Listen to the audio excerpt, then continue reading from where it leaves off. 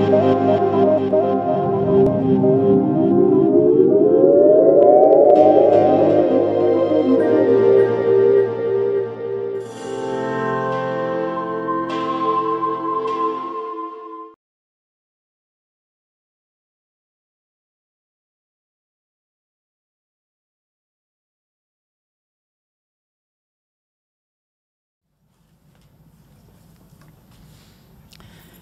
Estimados colegas y amigos, les doy la bienvenida como profesionales en Ciencias Económicas del Consejo Profesional de Ciencias Económicas de la provincia de Buenos Aires para decirles que es una gran satisfacción de poder compartir con todos ustedes este evento que no tiene como objetivo más que empezar a transitar un camino que nos permita desarrollar el ejercicio profesional cada vez con mayor jerarquización y calidad.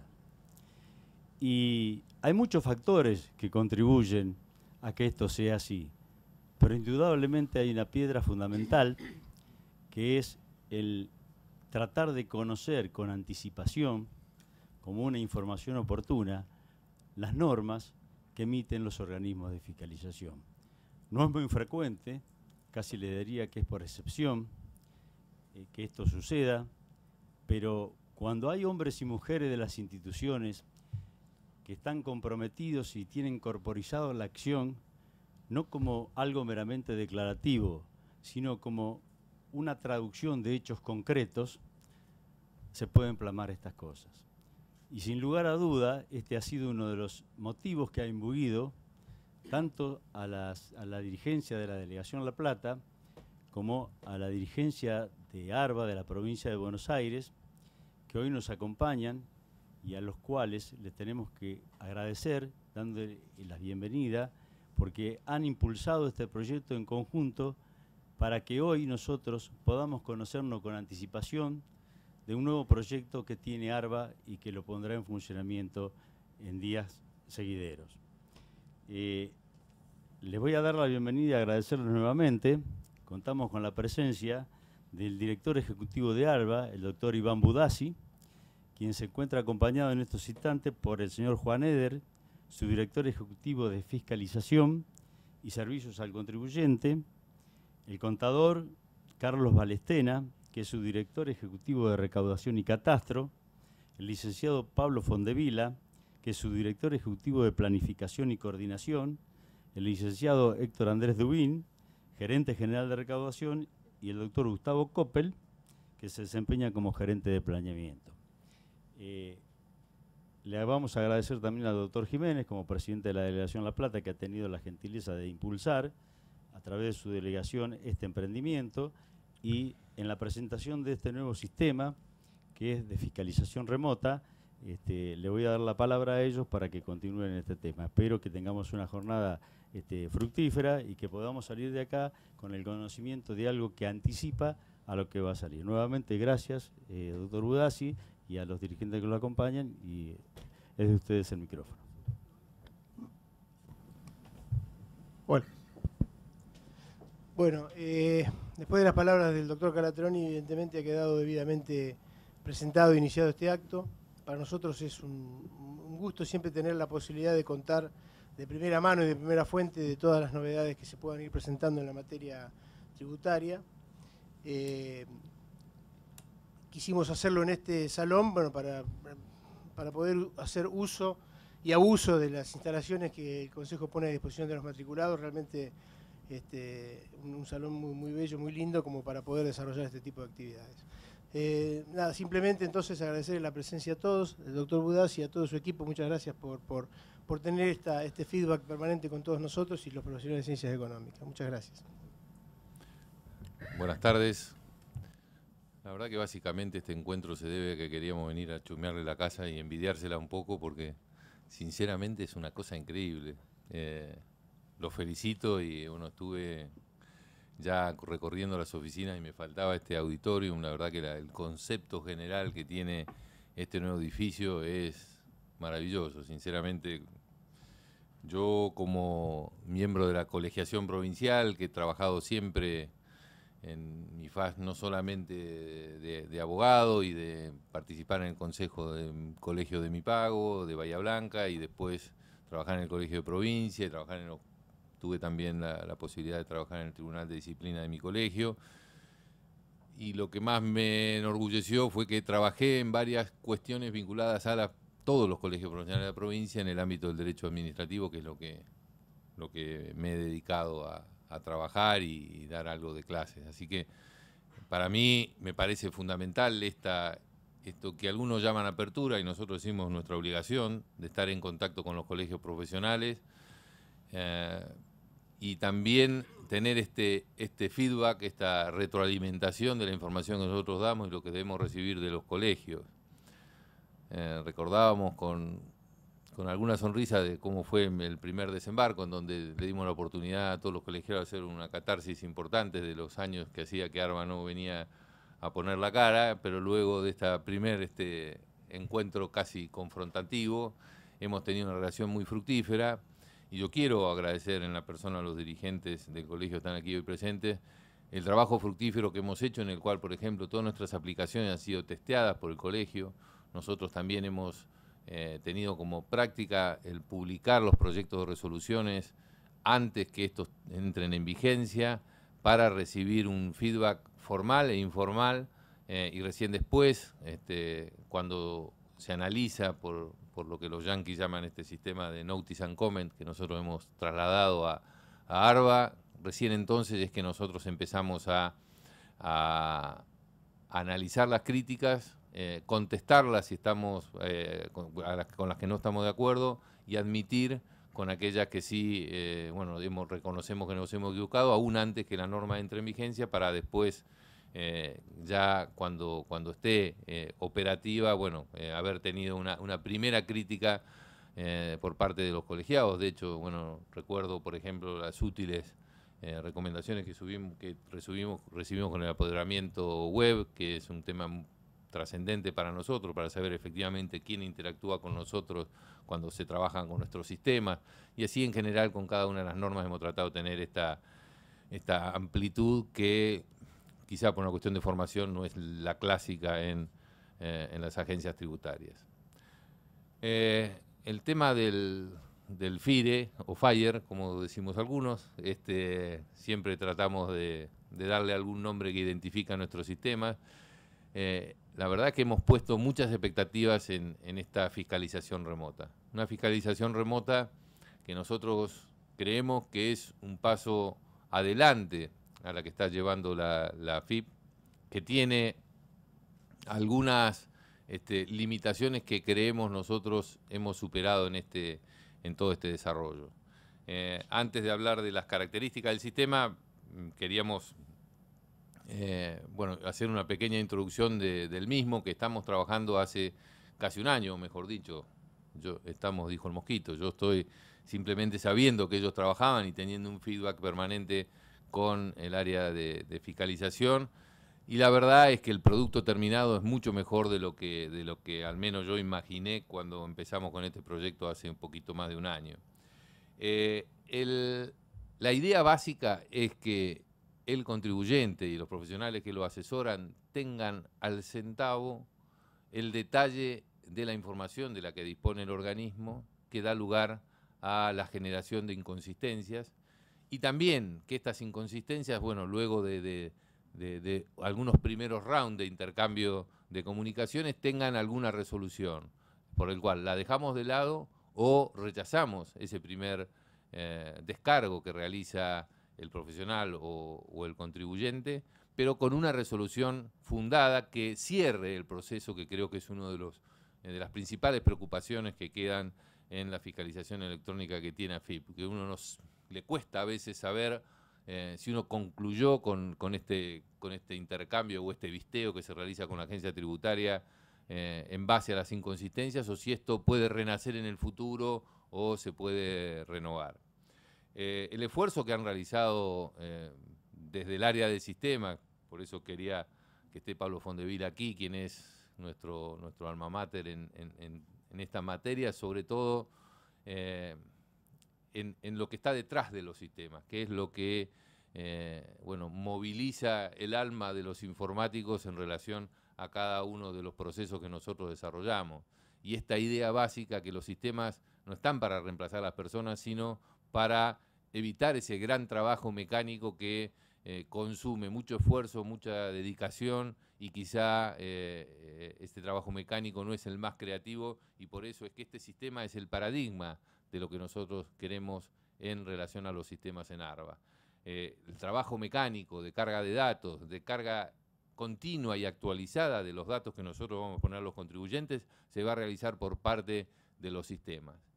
El otro paradigma que nosotros queremos respetar es que nuestro área de sistemas también tenga eh, esta independencia de una vez que genera el monstruo, que hace nacer el sistema, se independice de él y la carga y la administración y el back office de este sistema se ha hecho por cada una de las áreas para que el sistema pueda seguir en la tarea creativa desarrollando nuevos sistemas o mejorando los existentes, pero que no sea eh, un área de servicio de los sistemas que ya hayan creado y que ya tienen vida propia. La revolución que tiene para nosotros este, este sistema es que ustedes saben que cualquier libro de administración tributaria le va a decir que con suerte y, viento a favor se llega a, reconocer y cotejar el 5% de las inconsistencias o de los problemas que uno puede detectar en relación al contribuyente, apenas un 5% pueden llegar a ser revisados y con mucha, mucho optimismo. La verdad es que en general con el 1, 2 o 3% las agencias tributarias, seleccionan casos, los trabajan y empiezan en este ida y vuelta tan engorroso para llegar a una determinación de deuda que nosotros creemos que ahora vamos a poderlo superar con mayor éxito, pero sobre todo que el 100% de los contribuyentes sepan en forma precisa cuáles son las inconsistencias y en forma automática poder ir trabajando con las mismas. Eh, el, la diferencia también básica es que eh, nosotros vamos a tener, primero, que cada uno de los cruces se va a ir cargando en forma automática. Es decir, nosotros trabajamos en la actualidad en el organismo haciendo nuestras áreas de inteligencia, realizan los cruces, supónganse una o dos veces al año, analizan los cruces, lo depuran, ver, ver cuáles por una cuestión de simplicidad, o por una cuestión de monto, son los que se van a llevar adelante una fiscalización más intensa y empieza el, proceso de notificación congelado, por decirlo de alguna manera, hasta que bueno, se procesa todo ese paquete de información y se vuelve nuevamente a efectuar ese u otro cruce y volvemos a comenzar la historia. Aquí, una vez diagramados los cruces, se vuelven a cruzar automáticamente con algunos de los ejemplos que les vamos a dar Vamos a tener 14 cruces que van a manejarse por este sistema que esperemos estén operativos antes, antes de fin de año. Eh, en forma masiva, simultánea y continua, eh, se verifica la situación fiscal de cada uno de los contribuyentes en vez de hacer este procesamiento fraccionado eh, de, la, de, la, información. el otro punto está vinculado con la transparencia del sistema. Aquí, también en forma continua y simultánea, eh, se le está exhibiendo al contador y al contribuyente cuál es, qué es lo que nosotros sabemos de él. Eh, y eh, también le estamos dando a ellos la posibilidad también continua, directa y, y, precisa para que vayan también eliminando estas inconsistencias o eventualmente, porque muchas de ellas no se deben a algún incumplimiento eh, o intención de incumplir fiscalmente, sino por allí errores que se vienen cometiendo en las declaraciones juradas que pueden ser rectificados una vez que eh, bueno, se, encuentra la lógica, la lógica del sistema. Por ejemplo, cuando se cargan, y eso parece mentira, pero eh, por ejemplo, hay, hay, gran cantidad de contribuyentes. Este, tuvimos un caso de una obra social que vino poco menos que a querer incendiar el edificio el otro día porque decía que se le estaban haciendo retenciones cuando bancarias cuando no se le tenían que hacer. Y bueno, la inconsistencia que había surgido era que como se consideraban que los ingresos estaban exentos, habían declarado en cero cuando tenían movimientos millonarios en, su cuenta, en sus cuentas bancarias. Entonces, bueno, obviamente ahí había un error eh, claro en la confección de sus declaraciones juradas, por lo que este, bueno, ellos, eh, esto podría detectarse y corregirse también en línea en forma bastante más sencilla que... Eh, que bueno, que lo que, porque esto, reitero, se va retroalimentando en forma periódica y cuando se ve que se van eliminando, también uno va aprendiendo dónde es que se ha equivocado. maximiza la capacidad de gestión del organismo, simplifica los procesos, disminuye los costos operativos y también otro tema que para nosotros es sustancial. Cuando empezamos a trabajar con este, con este sistema, muchos de nuestros, eh, eh, nuestros técnicos, eh, básicamente los relatores, pensaron que se iban a quedar sin trabajo. La verdad que esto tiene dos grandes ventajas, la, la agilización de procesos y sistemas, la eliminación del expediente en papel, la eliminación de las, de las comunicaciones tradicionales, va a liberar mucha gente para que pase al área de fiscalización eh, general que nosotros tenemos, la masiva, para que pueda salir a la calle, que es uno de los principales reclamos, no solo de la sociedad, no solo de los contadores, sino también de, nuestro gobernador, que es una de las principales premisas que me impuso cuando me ofreció este trabajo, salir a cazar fuera del zoológico. Entonces, con mayor cantidad en la calle es donde vamos a poder pescar eh, aquellos que no están en el sistema. Entonces, aquellos que realizan un trabajo mecánico hoy de estos de formación de expedientes, notificaciones, etcétera, bueno, van a verse liberados para estar en la calle. Y aquellos tareas eh, de relatoría más sofisticadas van a estar, van a llegar ya al escritorio del relator de una manera mucho más purificada y sin necesidad de, eh, bueno, de tanto papeleo como el que se necesita ahora. En relación al contribuyente, lo que decíamos hoy, recibe la información precisa y completa del debido detectado, eh, no hay necesidad de, concurrir a las oficinas de ARBA, todo el intercambio se realiza virtualmente y eh, evita todos los problemas que todos sabemos que tiene la, fiscalización eh, tradicional. ¿Cómo empieza a funcionar este sistema? Bueno, se entera por, por el domicilio fiscal electrónico que se le ha incluido en nuestro sistema FIRE o FIRE, este, todavía yo a mí me sale Fire, pero bueno, será FIRE por la fiscalización remota. Eh, se le notifica que ha ingresado al sistema por la eh, que ha encontrado una inconsistencia. Como ustedes saben, no solo remitimos estas notificaciones al domicilio fiscal electrónico, sino también están siempre respaldadas por un correo electrónico, eh, todas estas comunicaciones. Se ingresa a través de mi ARBA, se accede al sistema y se ven publicados los desvíos detectados con la identificación precisa de periodos, de motivos, ahora lo vamos a ver, así que no hace falta explayar mucho. Eh, analiza entonces el contador o, el contribuyente la procedencia de los desvíos y como van a ver ustedes, tiene un nivel de detalle y de especificación muy importante y también tiene esta otra característica que creemos nosotros que es fundamental para la seguridad jurídica del contribuyente y de su contador, que es que estos procesos tienen una respuesta y una respuesta fundada. Eh, todos sabemos que en el orden de jerarquía de eh, los contadores y de, Arba, los contadores de ARBA y de ARBA en general, el derecho de defensa es una cuestión menor, casi intrascendente, pero yo siendo abogado es algo que me preocupa y sinceramente nosotros vamos a ver que antes de tomar alguna eh, medida coactiva o de determinación de deuda, al menos va a tener dos oportunidades concretas de descargo y va a poder atacar una resolución que indica el motivo, la norma, el inciso con precisión por el cual ha sido rechazado eh, ese descargo. El otro punto, antes de empezar a ver un pequeño videíto que nosotros hicimos para que ustedes puedan ver cómo funciona el sistema en la práctica, es que el sistema es un sistema cerrado. ¿Qué quiere decir? Ante cada alternativa, por ejemplo, vamos a, ahora vamos a ver eh, el cruce más sencillo, pero al que a nosotros, aunque a usted le parezca mentira, le sacamos mucho jugo en cada, en cada vez que hacemos estos cruces. Ahora el sistema tradicional, que es este de, bueno, correr los sistemas, congelarlos, seleccionar los casos y continuar adelante con la fiscalización de alguno de ellos. Bueno, ahora al 100% de las personas que tienen inconsistencias entre sus declaraciones de ingresos brutos y sus declaraciones de IVA, les va a llegar esta notificación al domicilio fiscal y su correo electrónico diciéndole, muchachos, aquí hay una diferencia.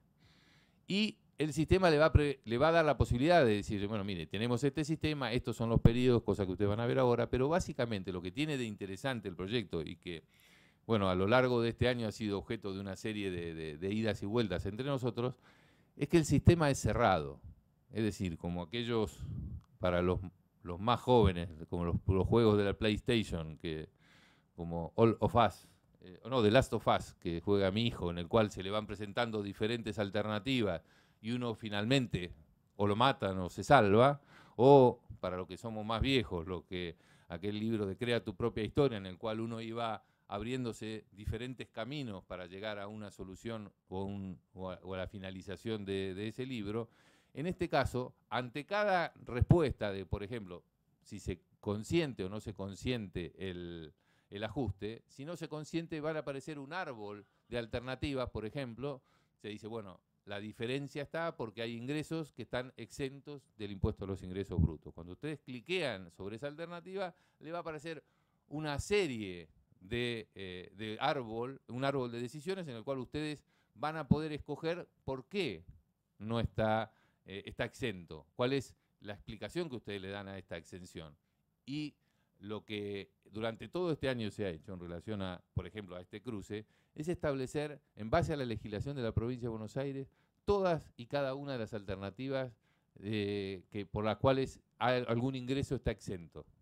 Entonces, se cliquea sobre eso y a su vez puede haber alguna otra alternativa, alguna otra eh, árbol de, decisiones que se le va abriendo para que ustedes digan, bueno, si por ejemplo es un ingreso exento porque se presta dentro de un, este, una promoción industrial por estar dentro de un parque industrial. Bueno, allí también este, bueno, eh, se pueden abrir alternativas a ver si todos los ingresos están grabados, si no están todos los ingresos grabados, eh, o si existe también alguna alternativa en relación a las alícuotas de cada uno de los diferentes ingresos de la codificación que está en la declaración jurada de ingresos brutos. Así que, como le digo, esto en, un, en algún momento termina, se cierra y viene una respuesta por la cual se le acepta el descargo, no se le acepta y se pasa luego hacia una fase 2. Pero esta es la lógica del sistema en la cual podemos llegar a algunas determinaciones eh, concreta de aceptación o de rechazo sin que intervenga eh, en absoluto un fiscalizador físico, por decirlo de alguna manera, sino el sistema va guiando a través de este árbol de decisiones hacia una respuesta positiva o negativa y el rechazo también con una fundamentación que ahora, ahora van a ver. Así que, si les parece, eh, pasamos al, al video. Se presenta la aplicación web de sistema FIRE, Fiscalización Remota, a la cual se accede a través de la página web del organismo e ingresando al sitio MIARBA. Para acceder, se requiere el ingreso por parte del contribuyente de la QUIT y clave SIT. Ya en el sitio MIARBA, se cliquea en la pestaña Domicilio Fiscal Electrónico y allí podrá visualizar el comunicado institucional en el cual se le informa que ha sido incluido en el sistema de fiscalización remota, accediendo asimismo a una guía práctica que en cinco pasos le explicará las principales funciones de la aplicación. Cliqueando en el módulo FIRE, se ingresa al sistema de fiscalización remota, accediendo a una pantalla de bienvenida donde se informa que la herramienta posibilita verificar la situación de los contribuyentes en forma masiva, simultánea y continua, detallando las características para acceder. Se pone en conocimiento al contribuyente que las inconsistencias exhibidas no constituyen una determinación de oficio, sino que son de carácter informativo y tienen por finalidad que proceda a la regularización de las mismas o fundamente su improcedencia. Cliqueando en el botón Ingresar, se accede a la pantalla Situación actual. En la misma se visualizan todas las inconsistencias activas para el contribuyente.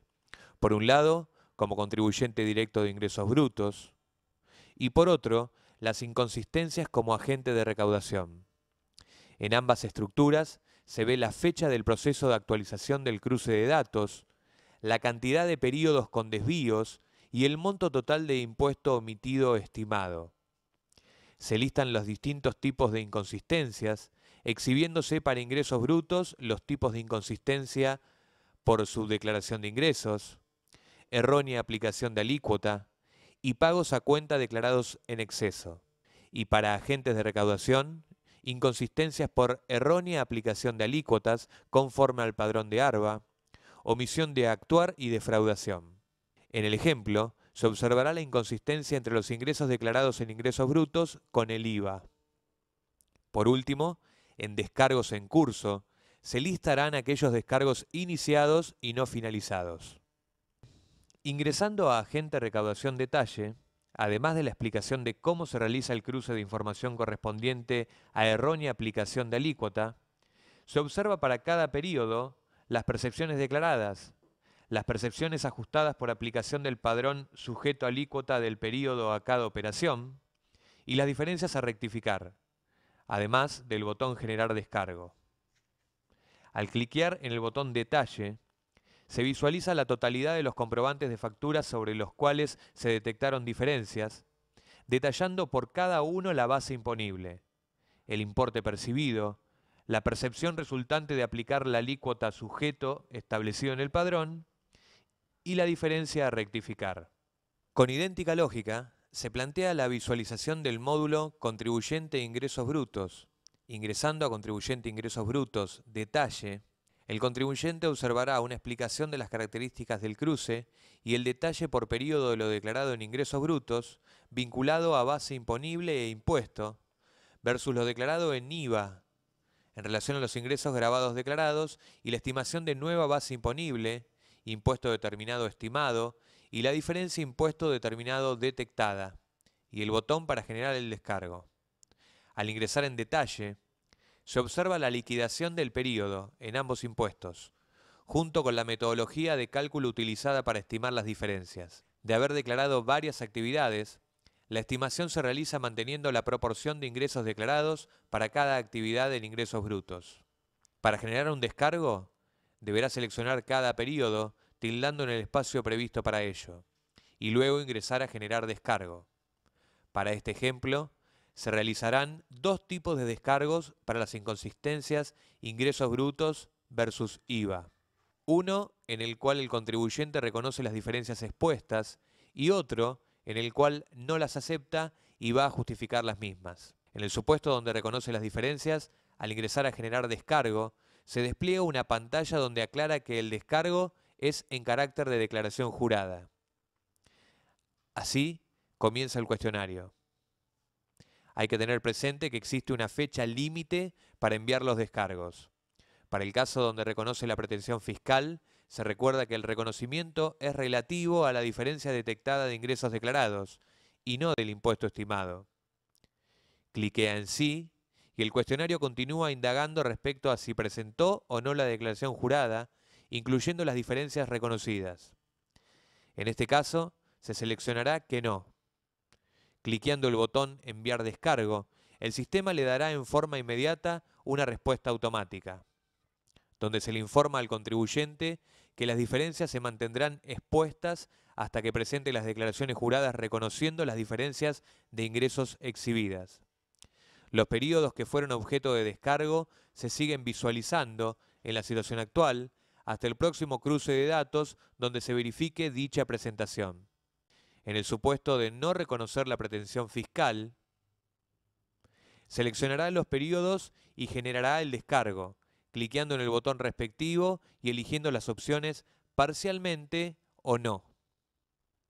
En el ejemplo se responderá no. Allí el cuestionario indagará sobre la principal causal que justifica la no aceptación de las diferencias. Las opciones de respuestas se sustentan en la identificación de supuestos donde existe diferente tratamiento impositivo entre IVA e ingresos brutos, siguiendo lo establecido en el Código Fiscal o leyes especiales.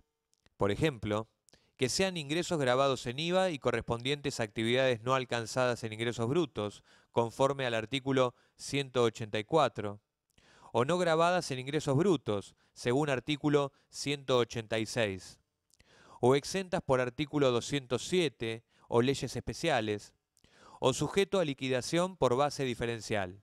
En el ejemplo, el contribuyente selecciona la opción A, que corresponde a ingresos alcanzados en IVA y no alcanzado en ingresos brutos.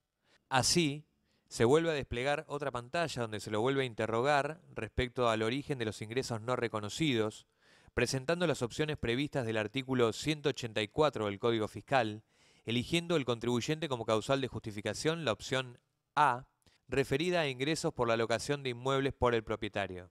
Se accede a una pantalla donde se requerirá información pertinente a la respuesta cursada de los periodos seleccionados, donde deberá cargar los datos solicitados. En el ejemplo, se pedirá información por periodo referida a cantidad de inmuebles alquilados, el destino, los importes de locación mensual y anual, etc. Para el caso, se informará un total de ingresos anual que supera el monto establecido por la ley impositiva para acceder al beneficio.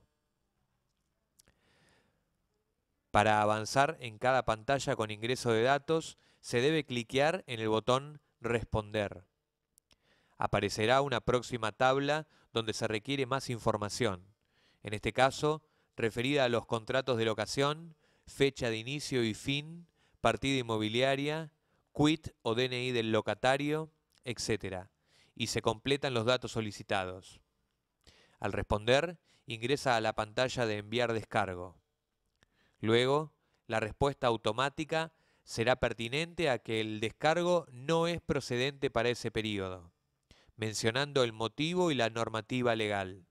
La aplicación posee una pantalla denominada historial.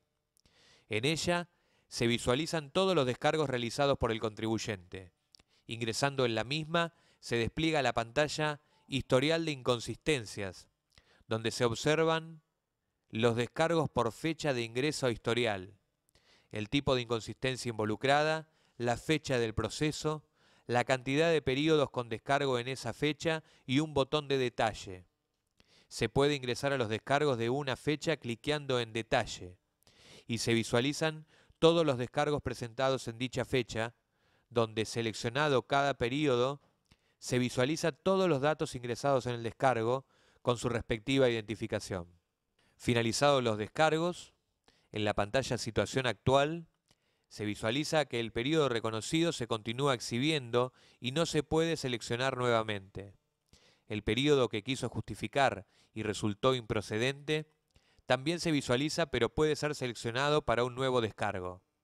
De haber un descargo que no resultara improcedente, el sistema dejará de exhibirlo en situación actual. A los efectos de facilitar el uso de la aplicación por parte del contribuyente, se podrá, en medio de un descargo, salir sin finalizar de responder la pregunta. Para salir sin finalizar, al estar respondiendo el cuestionario, se debe cliquear en el botón Salir sin responder. El descargo pasa a visualizarse en la pantalla Situación actual, Descargos en curso. Allí se visualizará por año la cantidad de periodos mensuales del descargo entre paréntesis y la fecha de inicio. Ingresando en detalle se retoma el descargo. Se presentan dos opciones, anular el descargo o continuarlo. Eligiendo anular descargo, se procede a dar de baja el mismo previa confirmación de la anulación. En cambio, seleccionando continuar descargo, lo lleva a la pantalla donde se salió. También se podrá volver hacia atrás y luego adelante en el cuestionario, permitiendo ver las preguntas efectuadas y las respuestas y datos cargados. En caso de querer modificar una respuesta o dato, podrá editar la respuesta y modificar lo que considere o cancelar la edición. De modificar alguna respuesta, se perderán los datos de las respuestas posteriores, pudiendo continuar respondiendo hasta finalizar el descargo.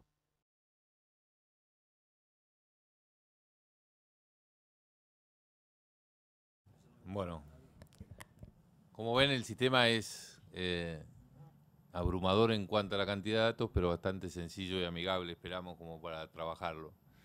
Para que se den una idea, ya el día 20 lanzaremos el primer cruce con 26.000 contribuyentes con inconsistencias en ingresos brutos por más de mil o cerca de mil millones de pesos. Por lo tanto, eh, este, estos cruces van a seguir, digamos, tenemos ya 14 cruces pensados con el área de inteligencia y procesados dentro del sistema para ponerlos en operación antes de fin de año.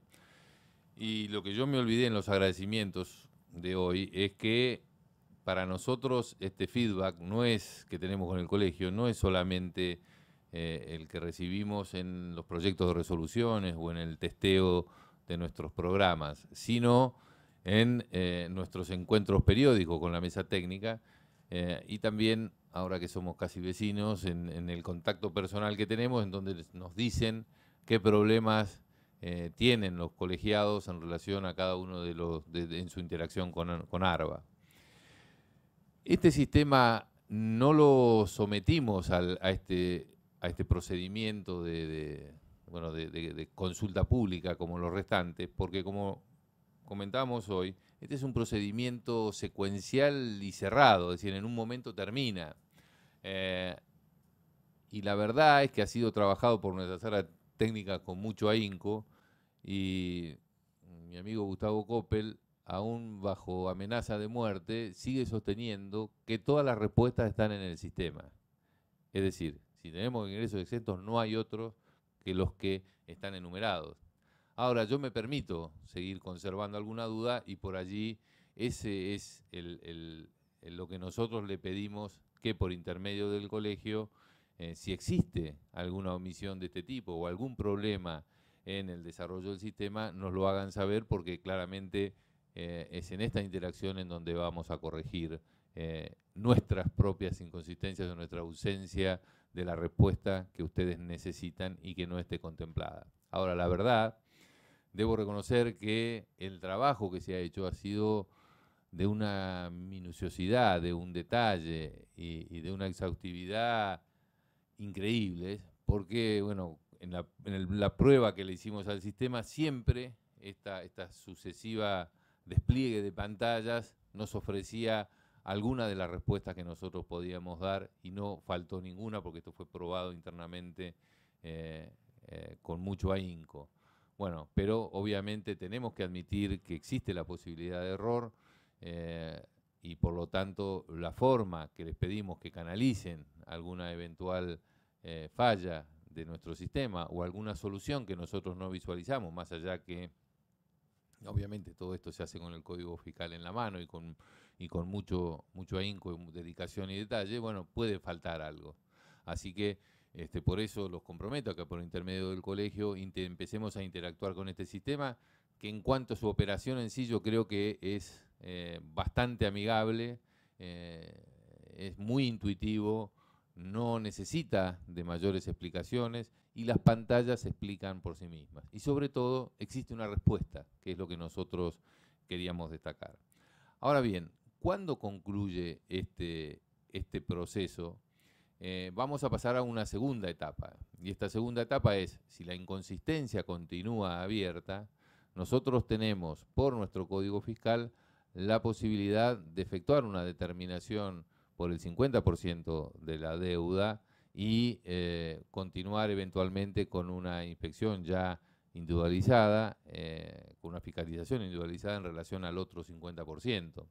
Obviamente que una vez cerrada la etapa del descargo y con un descargo rechazado o no efectuado, ARBA va a volver a comunicarse con el contribuyente para decirle, ojo, tiene un descargo que no ha sido concluido y eh, nosotros este, podemos empezar a interactuar allí nuevamente para eh, darle una segunda oportunidad en la cual eh, bueno, nos diga cuál es el motivo por el cual ese descargo no ha sido cerrado. También puede remitir eh, nuevas notificaciones y, perdón, nueva documentación que, por allí no haya aportado en, en, la etapa anterior o nuevos motivos que no haya advertido que podía ser utilizado en su favor en, la etapa anterior. Pero claramente todo esto va a llevar a un sistema de determinación de deuda, de liquidaciones y eventualmente dar origen a eh, la cadena que, que, continúa a este proceso automático, que es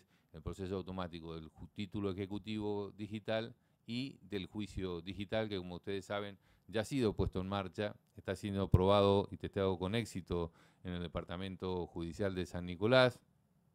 Pablo está chequeando con Fiscalía y haciendo todo el procedimiento para que todos los apoderados, no solo los que están dentro de Fiscalía, que son los que manejan los juicios mayores, sino aquellos que se sortean, que son abogados de la matrícula a lo largo y a lo ancho de la provincia, tengan su firma digital para poder continuar con esta secuencia de FIRE, la fiscalización remota, el cierre de la discusión electrónica, por llamarlo de alguna manera, y la emisión del título digital electrónico y el juicio eh, también eh, digital, que la verdad que es, y esto muy brevemente, les cuento que una vez que se genera el título digital, eh, ustedes debieran ver aquella hay, hay, lugares de trabajo en ARBA y en Fiscalía que son dignos de un cuento de Dickens, en donde hay muchas personas mirando muchos sobres que se trasladan eh, desde ARBA hasta Fiscalía, en donde se coteja toda la documentación, los títulos y la documentación respaldatoria, que ahora va a ser reemplazada por este título ejecutivo, que va a tener una, una su documentación respaldatoria archivada, entre comillas, en lo que llama una escribanía digital, en donde se va a poder consultar en forma, en forma continua, porque va a estar colgada en, en nuestros sistemas. Este título digital es remitido a Fiscalía, Fiscalía lo distribuye también digitalmente, lo sortea con sus apoderados a lo largo lo ancho de la provincia. Cuando lo baja el apoderado, automáticamente ese título digital carga la plantilla de la demanda eh, judicial, que es revisada por el profesional que firma en forma digital, la remite y la cuelga digitalmente a un sitio de intercambio de la receptoría de expedientes de cada departamento judicial, que a su vez también en forma digital la envía al juzgado, que cuando abre ese paquete de datos, automáticamente también se llena el primer despacho con las medidas cautelares y con el primer despacho del título ejecutivo propiamente dicho. Por lo tanto, como ven, esto es un continuum desde, desde que empezamos a detectar la inconsistencia hasta que eh, llegamos a la puerta de los tribunales, en un procedimiento que antes no tardaba menos de, por ser generoso, un año, entre que se detectaba la inconsistencia, pero me quedo muy corto, muy corto, cortísimo. Sí, este, es una, claro, es que nunca, eh, un año cuando nunca contestó nada, digamos, cuando nunca se contestó nada. Si empezamos en algún debate, esto ya claramente este, se extiende a varios años. Eh, bueno, ahora digamos, toda esta secuencia se puede realizar en un periodo de tiempo mucho más corto. Eh, nuestro, desde que estaba, para que se den ustedes una idea, la deuda en condiciones de ser ejecutada y llegaba al primer despacho, no pasaban menos de 400 días. Ahora, en un día, tres días, un máximo de 10 días, ya podemos pasar desde la confección del título ejecutivo digital hasta el primer despacho en los tribunales. Eh, ahora, Supongo que tendrán algunas preguntas del funcionamiento del sistema, por eso estamos todos acá para bueno, charlar un tanto informalmente con ustedes sobre las dudas de nuestro FIRE y creemos que hemos tratado de buscar en la literatura para ver si existían sistemas similares.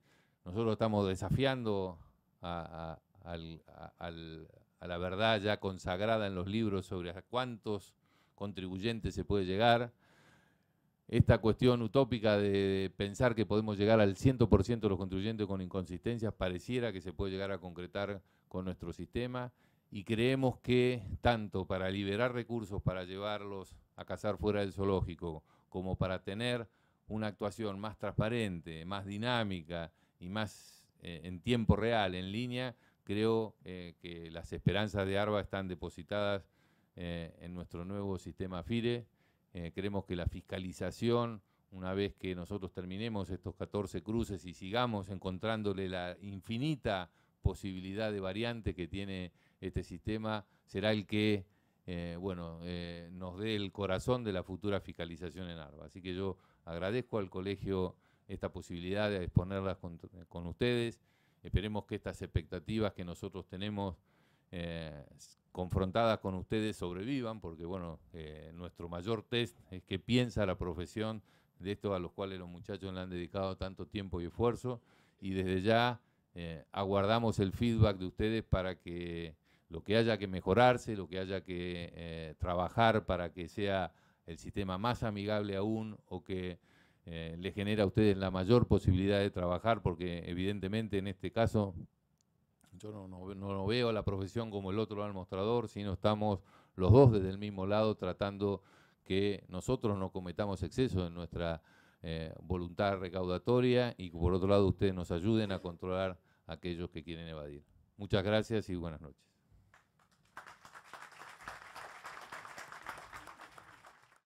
Sí, quería manifestarle que antes de empezar a las preguntas y las respuestas, este, omití decirlo al principio, pero lo estamos filmando a este evento a los efectos de eh, ponerlo en la página del Consejo, porque si bien creo que la explicación del video es, bastante productiva para que nos vaya guiando. Si bien el mismo instructivo en la página tiene eh, la edición de procedimiento, pero para que ustedes cuenten con el video, lo vamos a colgar en la página. Así que indudablemente las preguntas y las respuestas si tienen para mejorar, no sé cuándo va a entrar en funcionamiento.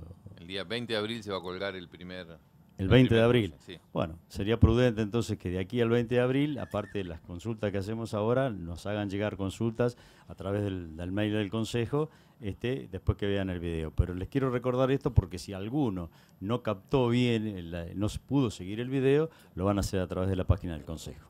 Gracias. Ahora sí podemos empezar la pregunta.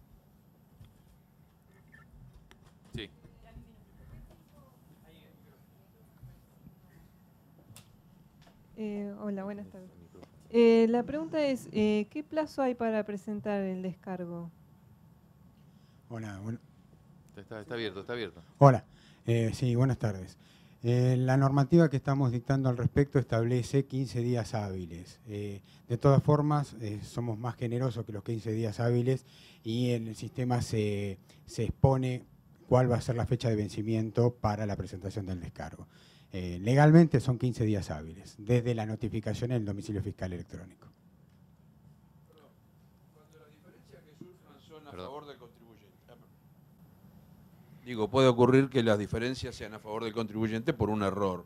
¿Eso va a estar representado también en el sistema? No, no, no, no. Simplemente se, se exhiben y publican todas las inconsistencias a favor del fisco de la provincia. Buenas noches. Yo quería consultar, ¿desde qué periodo se va a fiscalizar?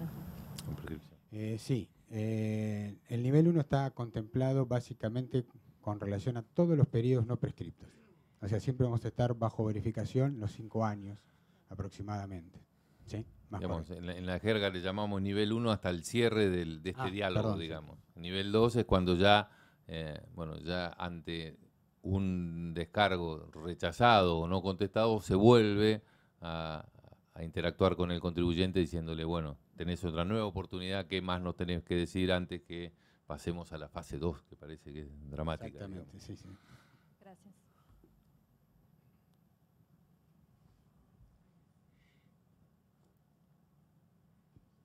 ¿Qué tal? Buenas tardes. Eh, yo quería saber... Eh, ¿En qué fecha van a ser los descargos por mes? O sea, ¿va a ser a partir de los días 20?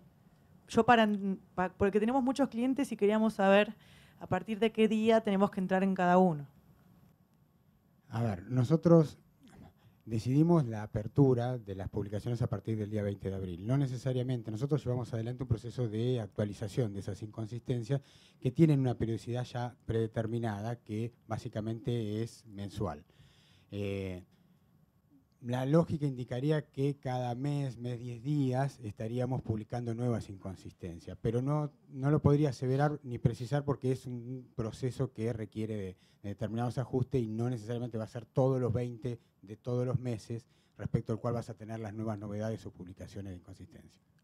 Pero nunca va a ser los plazos menores a del Código Fiscal y en general van a ser mayores, estamos hablando de no menos de 15 días hábiles, por lo tanto, y también se va a enviar el mail, esa, esos cuidado, digamos, de todo lo que los administrativos llamamos actos de gravamen, que causan algún, pueden causar algún perjuicio al contribuyente, van a ser notificados también por vía del correo electrónico tradicional.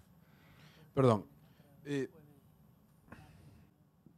tenemos, por lo menos en mi caso, hay casos concretos de en eh, que ocurren cuando hay notas de crédito. las notas de crédito que incluyen devolución de retenciones no son cargadas en la declaración jurada, no las acepta, por lo menos en la de IVA. En ese caso van a surgir diferencias seguro. ¿Está contemplado ese tipo de situación? Sí, sí, sí, sí, sí, sí, eh, a ver, como le decíamos anteriormente cuando tuvimos oportunidad de exhibirle en la aplicación, el cuestionario básicamente permite, prevé o prevé básicamente todos los distintos supuestos o causales que se puedan presentar, entre esas la que usted menciona básicamente porque la construcción que se hizo tuvo como eje la construcción, por, un lado, lo que es el, lo que nos indica el Código Fiscal, ¿no es cierto?, de lo que es materia grabada en el impuesto sobre los ingresos brutos. Y básicamente considerando el tratamiento diferencial que a su vez puede tener con el impuesto al valor agregado. Y cada una de las distintas instancias que se presentan como respuestas justamente contemplan, desde el punto de vista de los conceptos que no integran la base, conceptos que se deducen de la base, conceptos que están sujetos a un tratamiento diferencial, por ejemplo, la actividad de comercialización de tabaco, que, la constitución de la base imponible del impuesto es por la diferencia de compra por citar uno de los tantos ejemplos que están previstos. Sí, básicamente sí. Bueno, y esto también se va a complementar con otra cuestión que mañana lanza AFIP, que es la la factura electrónica, que para nosotros también lleva otro complemento, que es la realización unificada de declaraciones de IVA e ingresos brutos con AFIP, en el proyecto en el cual estamos trabajando hace tiempo, eh, con el cual tenemos, eh, hemos tenido muchas idas y vueltas. Básicamente hay algo que nosotros queremos conservar para la provincia, que podemos denominar un poco grandilocuentemente la soberanía de los datos, en donde nosotros este, eh, la, carga sea única, pero los datos se archiven en espejo en la provincia de Buenos Aires y en la FIP. Y estamos avanzando hacia lo que eh, ha dado a llamar DIU, el, que la Declaración Impositiva Unificada, que, maneja AFIP, que nosotros, eh, la plataforma original no teníamos, este, teníamos algunas divergencias. Pablo está trabajando en ello para que por allí ya a partir del mes de julio eh, o agosto ya tengamos esa declaración unificada en donde también podamos ver, eh, digamos, se eliminen eventuales inconsistencias porque va a haber casilleros en los cuales sobre una misma eh, base imponible se van a, patentizar estas divergencias que existen entre cuestiones que son grabadas, digamos, que ingresan a la base imponible de IVA y no ingresan a ingresos brutos, precisamente. Hola. Dos, dos preguntas. Una, ¿en qué universo va a afectar este, en, una primera etapa la, fiscalización remota? Si es, porque en el ejemplo estaban los puros, si es para los pequeños contribuyentes o, grandes contribuyentes que, sean puros. Y la otra, con la notificación en el, domicilio electrónico, eh, uno se, da por notificado cuando abre la notificación, ¿cierto? Los, los 15 días empiezan a correr desde el momento que abrís la notificación o desde el momento que ustedes la cuelgan en, el domicilio electrónico?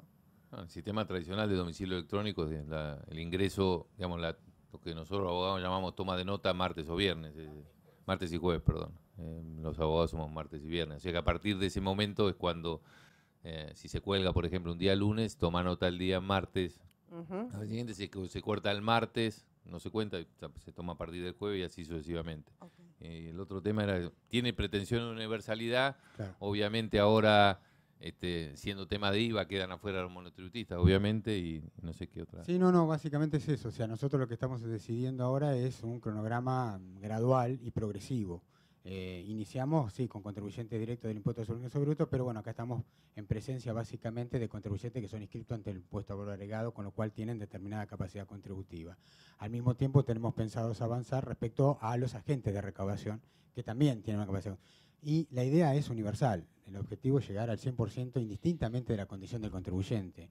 Estamos en un cronograma, como vuelvo a decir, gradual y la idea es llegar, cuando implementemos los 14 cruces que comentaba Iván, a fin de año con la masividad de contribuyentes que correspondan. Queremos, como Pinky Cerebro, queremos conquistar el mundo, pero de todos modos, el tema interesante es que estos cruces están. Lo que pasa es que lo que cambiamos es el sistema de manejo de los cruces. Esto ya lo estamos trabajando. Lo que pasa es que ahora es un trabajo como con corte. Estos se van cargando automáticamente y con esta pretensión de, universalidad, pero los 14 cruces ya existían, lo que pasa que bueno, hay es diferente como se le saca jugo ahora, en donde se le seleccionan los casos, donde obviamente uno no puede tocar timbre a todo el mundo, ahora la pretensión es llegar a este timbre universal. Ah, ¿qué tal? Buenas tardes. siguiendo con ese tema de, a qué contribuyentes van a alcanzar, eh, digo, estaría bueno si puede desde la agencia eh, esquematizar a medida que se van incorporando los distintos universos. Eh, creo que por lo que planteaba la colega, por el tema de cómo ir revisando. Es decir, que nosotros no tengamos que revisar el 100% de nuestros clientes cuando por ahí todavía no van a estar revisando a ese tipo de contribuyentes. Me explico. Por ahí, digamos, todavía contribuyentes de convenio no van a, no van a fiscalizar. Bueno, vamos dejando de lado por lo menos hasta que ustedes... Eh, ¿Me explico? Pero la, revisión es, digamos, siempre va a estar respaldada por el correo, siempre se va a decir que se incluyen y cuando ustedes van a la pantalla del FIRE van a ver cuál es la inconsistencia. Por eso no, me preocupa, a ver, no, alcanzo a entender mucho la preocupación porque siempre van a recibir una notificación en la cual, bueno, supuestamente uno por costumbre va a ir, pero también va a estar respaldada por el correo electrónico y también se le va a indicar por qué está, por qué tiene que ir a abrir el, el MIARBA, digamos. Pero por eso por ahí no, no lo alcancé a entender bien. ¿Vos, Gustavo? Yo creo que... Buenas tardes.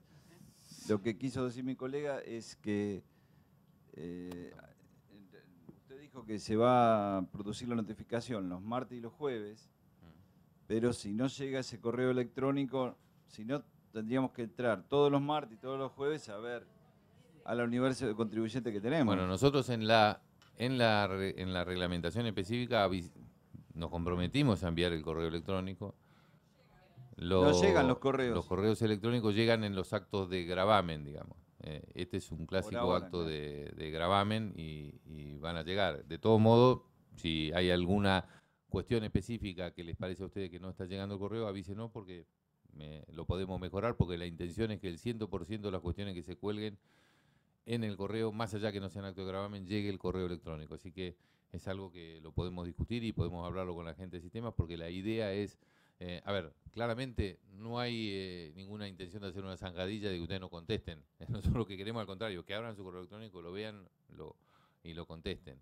Este, de todos modos, este es el sistema clásico que rige para todos los expedientes judiciales de hace muchísimo tiempo, con el agravante de que uno antes tenía que ir mesa de entrada por mesa de entrada a buscarlo. Bueno, ahora eh, yo entiendo que ustedes tienen muchos, a los que tienen muchos clientes, es un, digamos, es un ejercicio que, que tienen que hacer, pero bueno, funciona. A ver.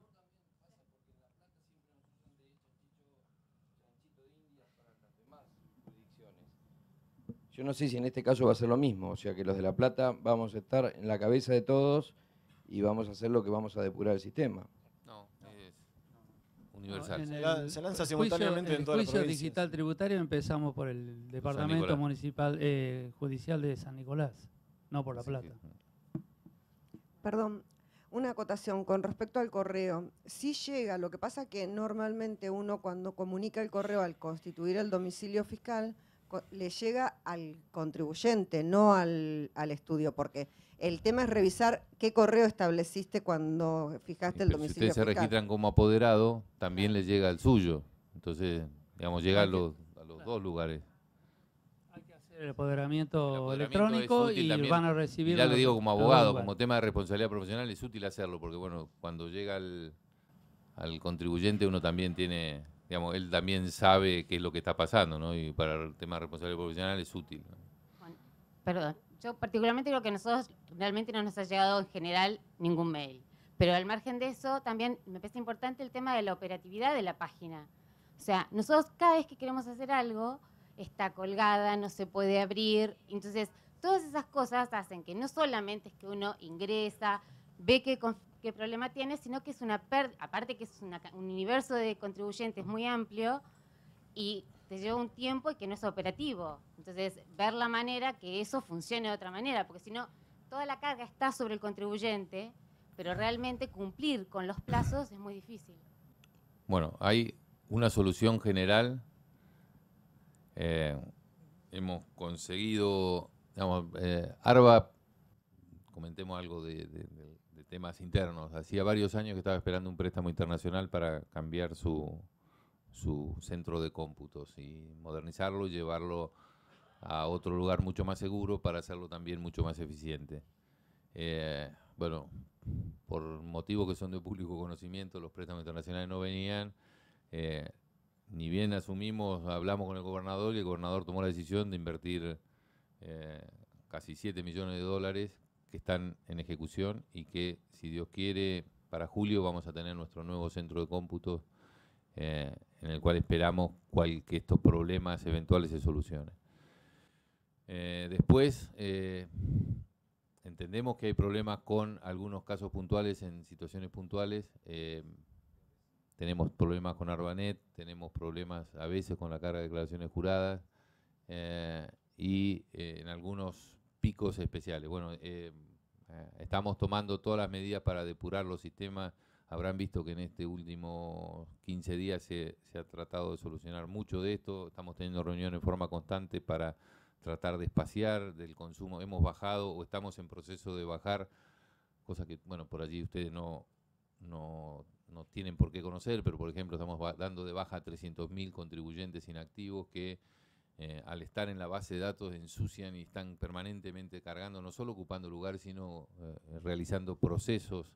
Eh, y así estamos trabajando para que aún este, antes del mes de julio, que nosotros creemos que ya vamos a estar mudados, se pueda solucionar el tema. Entendemos la, la situación, pero también yo lo que les pido es que más allá de estos problemas que nosotros somos conscientes, pedimos disculpas, también este proceso también implica una eh, un alivianamiento de las cargas del, contribuyente en cuanto a que, bueno, no tiene que concurrir a las oficinas, los descargos se realizan online, eh, tienen un sistema bastante más ágil. Eh, entendemos los problemas, los asumimos y pedimos la disculpa del caso.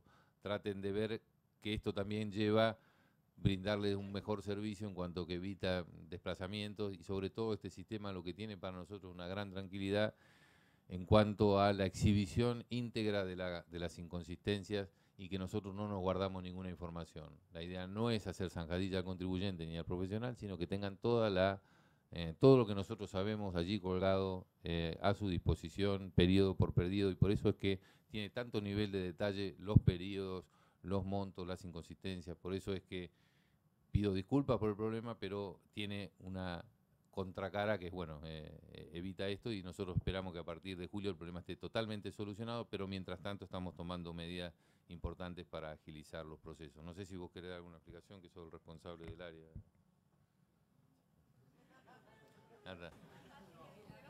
No, no, porque lo entiendo el tema, la verdad que sacan números, lo voy a decir en creo, sacan números para putearnos con esto, entonces... Bueno. Sí.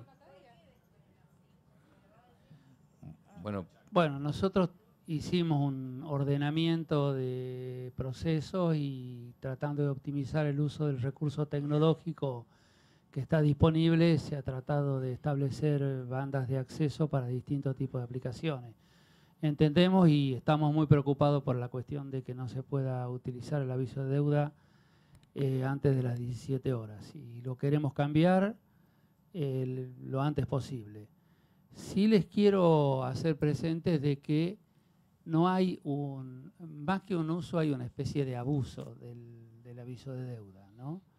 Las personas, este, lo que apreciamos es que en relación a lo que efectivamente se liquida y a la cantidad de veces que se busca hacer el cómputo de la deuda del contribuyente, las cifras son abrumadoras en un día de cierre, digamos, de, planes de pago, por ejemplo, a lo mejor se hacen 14 o 15 mil, eh, digamos, opciones por planes de pago y 170 mil avisos de deuda.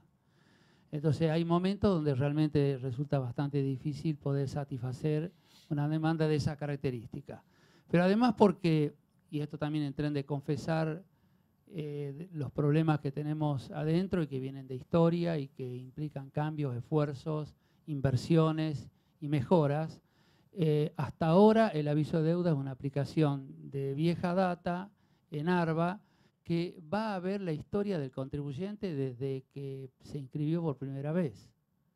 Y en muchos casos, digamos, recorre la vida completa del contribuyente en su condición de tal y el, el tiempo de procesamiento es muy largo y muchas veces hace un timeout simplemente porque eh, son concurrentes los, las solicitudes, eh, el sistema se ralentiza, eh, demora mucho tiempo y en consecuencia reacciona, digamos, bajando las solicitudes. Así que nosotros estamos trabajando en soluciones. hemos hecho un esfuerzo muy significativo para llegar a lo que llamamos en, en el ordenamiento interno de la deuda de los contribuyentes la cuenta corriente del contribuyente. Y tenerlos a todos en cuenta corriente implica muchas cosas, implica pasar de un sistema de administración o de liquidación de los, tributos por objeto a un sistema por sujeto. Venimos de una historia muy compleja en la cual eh, para ARBA no, no eran las personas las que pagaban tributos, sino eh, los inmuebles, ¿no es cierto? Entonces, en muchísimos casos desconocíamos, por ejemplo, el CUIL del propietario de un inmueble, o sea, quién era el contribuyente. Sabíamos que había una partida que contribuía, así como hay un dominio que paga impuestos, pero no siempre teníamos en claro quién era la persona. Y eso eh, genera muchas dificultades. Nosotros estamos yendo a un sistema de liquidación por sujeto, es decir, por quill, estamos yendo a un sistema de cuenta corriente, es decir, de un saldo de deuda neto, digamos, eh, al día, todos los días, y a un sistema de comunicación distinto del que hasta ahora hemos utilizado con las boletas.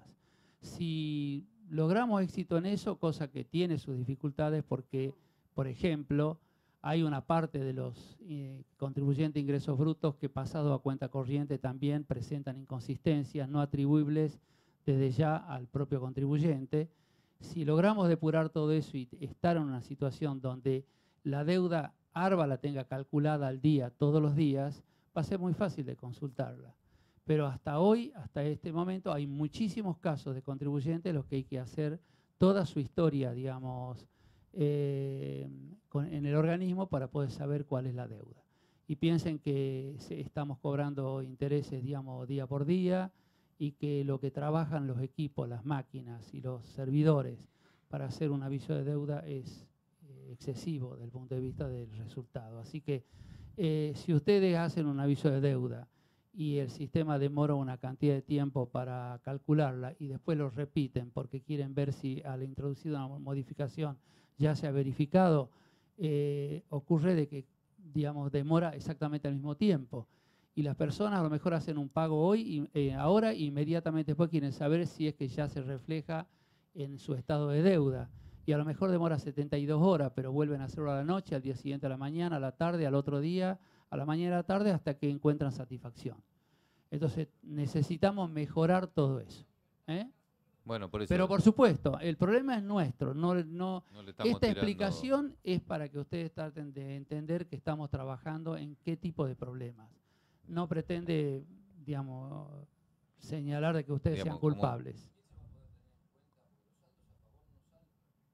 Sí, en la declaración jurada web, todos los que están han pasado al sistema de declaración jurada web tienen cada vez que hacen su eh, presentación web, digamos, de ingresos brutos, todas las retenciones y eh, percepciones que hizo lo que estamos Todo el sistema, dos cosas primero. Eh, digamos, a ver, un, segundo. Un segundo. Eh, digamos, tenemos varios temas. Primero, mi mamá es una santa y como responsable del organismo no hay cosa peor que tratar de que se acuerden de la mamá de uno todos los días. Nosotros este tema nos preocupa y es un problema nuestro. Tampoco le podemos echar a la, culpas a la historia y esto como con la inseguridad, cuando uno está ante una víctima no le puede decir cómo bajaron los índices del delito. Si uno este, quiere hacer un proceso y no le anda la computadora, quiere partir a solo la computadora y luego la cabeza en lo posible el director de ARBA. Entonces, somos conscientes del tema. Ayer estuvimos hablando de esta modificación de la arquitectura de los procesos para llegar a un momento en el cual congelemos y no tengamos que ir 30 años atrás como efectivamente va el sistema. Es una cosa increíble para cortar eso. Estamos haciendo una inversión, la cual convencimos al gobernador que para sacarle un peso hay que operarlo, para que podamos hacer el, centro de cómputo y eh, estamos realmente preocupados por, este, por, esta, por estas deficiencias en el servicio. En relación, y todo tiende también a que nosotros exhibamos con mayor, eliminar cargas administrativas y tratar de, ir hacia un sistema en el cual ustedes no tengan que hacer ese trabajo mecánico y lo hagan los sistemas en la declaración jurada web, uno de los principales puntos es exhibir también en forma automática, que ustedes saben que son, hay muchos problemas de carga eh, por parte de quienes son agentes de recepción o de percepción, pero estamos tratando de que esto esté en línea, que en la declaración jurada web esto se exhiba y se está haciendo un esfuerzo importante por esto. Obviamente que falta siempre, pero no es algo que a nosotros nos tenga sin cuidado. Está en el corazón de la declaración jurada web exhibir las retenciones y, las percepciones para evitar esa doble carga, la tarea administrativa tan tediosa que tienen que hacer de cargar eh, los comprobantes o las diferentes retenciones y percepciones. Pero estamos en ese, en ese proceso. No sé si alguno tiene alguna cosa en relación... Bueno, la verdad que estos temas puntuales, para eso tenemos una mesa técnica y yo les pido que nos ayuden para estos temas. Nosotros, eh, hay, yo vengo del otro lado del mostrador y sé que por allí, cuando uno está de este lado, se equivoca y cree que lo que está haciendo está bien y hay veces que se equivoca y faltan cosas. Por eso la forma de charlar estos temas es con nuestra mesa técnica con la cual nos juntamos habitualmente. Así que les pido que por intermedio del colegio, con quien la verdad tiene mucha paciencia para tratar con nosotros y nos plantean todas las cuestiones, nosotros estamos tratando de solucionar los temas que nos plantean. Hay veces que no nos avivamos de algunos temas, otras no lo podemos hacer y cuando nos lo dicen lo tratamos de, solucionar. Por eso es interesante, yo les agradecería que por la vía que ustedes consideren pertinente, pero básicamente por la mesa técnica del colegio con la cual nos reunimos con una agenda concreta para empezar a solucionar temas en el cual por lo menos se les puede dar una respuesta a ustedes a estas inquietudes, eh, al menos una explicación para que vean que si hay cosas que no hacemos es porque no podemos y no porque no queremos, o hay veces que, este, bueno, por allí tenemos alguna interpretación diferente, pero creo que todos estos sistemas, estos problemas de funcionamiento se solucionan eh, por intermedio de la mesa técnica, que es la que en la cual se pueden nuclear estos problemas prácticos. Reitero que hay veces que nosotros vemos otra realidad porque este, evidentemente tenemos otra función y la que nos tiene que decir cómo hacer el trabajo más fácil son ustedes. Por eso eh, yo mm, empecé agradeciendo lo de la mesa técnica porque a nosotros nos, hace ver dónde nos equivocamos o por lo menos darle una explicación que le llegue a ustedes. Hay veces que nosotros hay cosas que no podemos solucionar en forma instantánea, pero por lo menos que sepan qué estamos haciendo, cuál es la respuesta y cuál es nuestra, nuestra posición. Así que eh, todos estos temas puntuales y prácticos, que reitero, o no lo hacemos porque no podemos o porque no nos damos cuenta, eh, tratemos de, solucionarlo. Una, pregunta. sí. yo primero les agradezco a todos la presencia, de que nos estén explicando cómo va a ser este sistema FIRE. Después veo que hay, entiendo que hay una honesta preocupación en la implementación de este sistema porque ustedes se dan cuenta que es revolucionario. Es masivo, a nosotros nos asusta esa masividad, y también nos asusta que no solamente es masivo, sino que vas a los periodos no prescriptos. En la práctica son siete años y son un montón de meses por año. Y nosotros no sabemos lo que nos podemos encontrar a partir del 20 de abril. Entonces, eh, aprovechando un poco nuestra experiencia, nosotros no, digamos, no, no le decimos hagan esto, nosotros les pedimos que vayan graduando un poco, no con todos los periodos, porque si nosotros nos encontramos con errores de ustedes o nuestros, no sabemos, pero con una cantidad de contribuyentes, con un montón de problemas con diferencias, vamos a encontrarnos con el segundo requerimiento y muchas veces no son tan lineales las soluciones como dicen, bueno, este está bajo régimen de promoción en un parque industrial. Las respuestas a veces son complejas y los sistemas no las toleran. ¿Por qué? Porque son complejas. ¿Por qué? Porque está exento de bienes de uso, porque está en un parque industrial, porque tiene cuatro motivos distintos, porque tiene notas de crédito, como dijo el Bolívar, cuatro motivos y, no los contemplan. Y nosotros tenemos miedo de ese segundo requerimiento, porque ese segundo requerimiento, después nosotros no tenemos más respuesta. A mí, me ha pasado lo que le pasó a esa obra social. Yo tengo un colegio que le sigan reteniendo ingresos brutos. Y cada tanto me lo bajan y cada tanto me lo suben. Y está exento. Y no tengo respuesta. el problema que tenemos con ingresos brutos es que lo han digitalizado demasiado y no tenemos con quién solucionar ese problemas.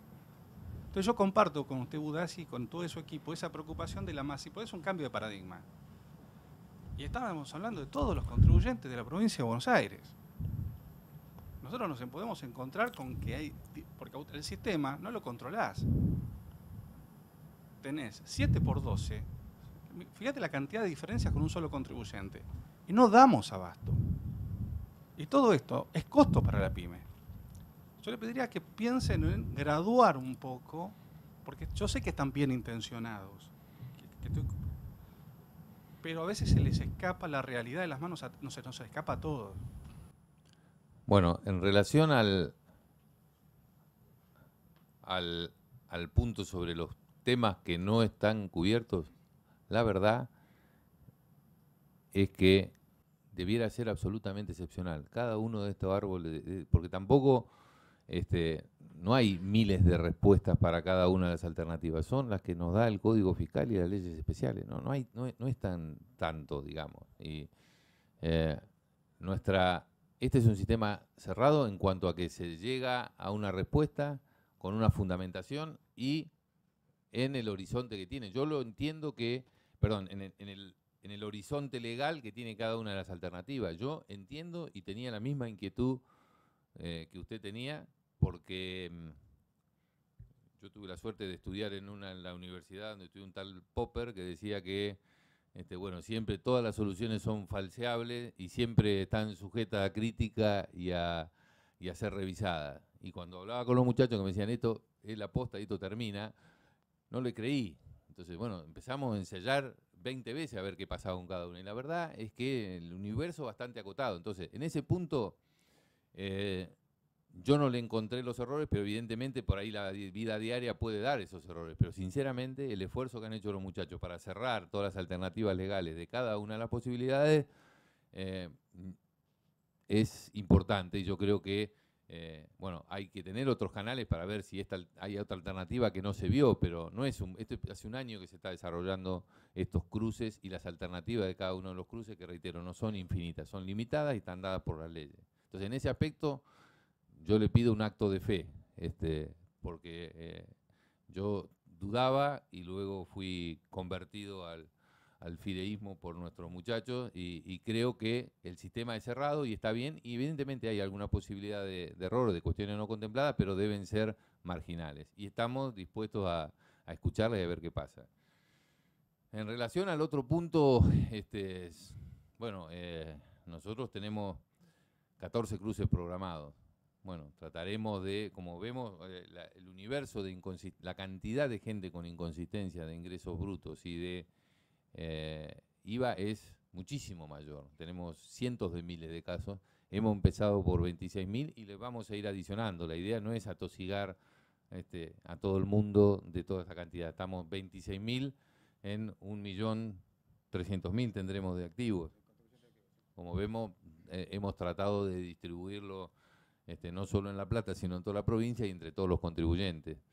Eh, la idea no es eh, complicar la vida, pero sí vamos a estar más vigilados. Y al estar más vigilados, y si esto más o menos funciona, bueno, vamos, esto es un sistema de prueba y error, a ver cuántos consienten, cuántos llegan, ver cómo, cómo estamos, pero evidentemente la idea no es empezar a disparar de a cientos de miles de intimaciones en, de un día para otro. Es un proceso progresivo, gradual, y que se va diluyendo entre la cantidad de contribuyentes que tiene la provincia de Buenos Aires. Reitero, esta proporción de 26.000 en 1.400.000 hemos sido lo suficientemente selectivos y hemos agarrado la crema, obviamente, en esta primera etapa.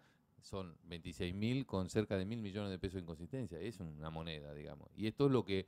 Y este jugo, digamos, del sistema lo venimos sacando hace muchos años. No es que es un cruce novedoso. Esto nos viene dando leche hace mucho tiempo. Bueno, ahora pretendemos que sea más efectivo. Pero bueno. Eh, tomamos la, posibilidad del error y tomamos la crítica, pero no es la idea empezar a, fusilarlo con cientos de miles de intimaciones en su correo fiscal, en su correo electrónico todos los días. Inclusive no haber nada más frustrante para, ustedes que presentar los descargos y no tener la respuesta nuestra de, de los resultados de ese descargo. Estos cruces, como decía Iván, se han hecho en los últimos cuatro años mil veces, el de ingreso bruto con IVA. La gran diferencia que vamos a tener es que le vamos a dar un cierre, que le vamos a dar una respuesta.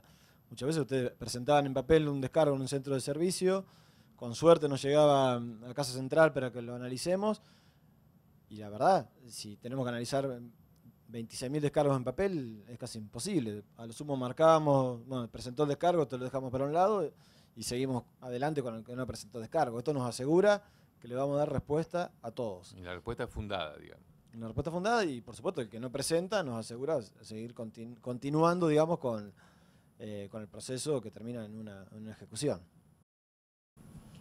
una pregunta, con respecto al proceso, cuando haces el descargo eh, y ARBA, suponete, no, no acepta eh, como válido el descargo presentado por el contribuyente, el proceso siguiente es el proceso determinativo de oficio o sea, el contribuyente tiene el derecho a defenderse y a aportar la prueba documental y, este, y estar sometido a un proceso determinativo de oficio tradicional. Bueno, en la fase 2 ahora, ahora, pero... Estamos hablando de la ejecución sin un proceso... Bueno, a ver, nosotros tenemos dos vías. Tenemos algunos temas complejos, claramente van a ir a fiscalización con seres humanos, señores de carne y hueso, que van a empezar a buscar papeles y a ver el sistema tradicional de terminación de deuda. Otros no. El Código Fiscal nos habilita a ir por el 50% de la deuda en casos específicos de eh, inconsistencias, como la que estamos hablando hoy, como el ejemplo que estamos dando hoy. Y la idea es este, aquellos que en donde vemos que o no ha habido interacción o la interacción no ha dado respuesta satisfactoria. Obviamente, esto, la generación del título ejecutivo lo hace un ser humano, no es que va automáticamente. Entonces, cada caso se va a ir viendo y, digamos, si, si no entra dentro de, digamos, si no es un tema de una complejidad que amerite ir a una, una fiscalización individualizada, sino que o no se ha respondido, o se ha respondido algo que, que analizado a primera vista parece erróneo, bueno, por el 50% se emitirá el título ejecutivo. Sí, básicamente eso. O sea, el anticipo cuenta que, se reclamaría, el cual citaba Iván, y que habla del 50% que estaríamos reclamando legalmente, admite el derecho de defensa, o sea, admite, y llegada a la instancia, la posibilidad de descargo. Y a su vez requiere de un acto administrativo y con ello se abre toda la vía recursiva, o sea que siempre está garantizado el debido derecho de defensa del Ese es un tema sustancial, siempre va a haber proceso, siempre va a haber eh, derecho de defensa y siempre va a haber posibilidad de respuesta y de ampliación de las respuestas previas. Claro, pero eh, no, decimos que si echa la respuesta o no echa la respuesta, porque el contribuyente no respondió, pero ahí estaría en falta el contribuyente. Eh, entonces o, es o, no satisface los requisitos o, o, o, no hubo respuesta. Paso directamente a la ejecución cuando se va a defender el contribuyente. en el juicio ejecutorio no tiene... No, no, no, no, no. O sea, hay, una instancia previa que a lo mejor no, quedó de todo claro.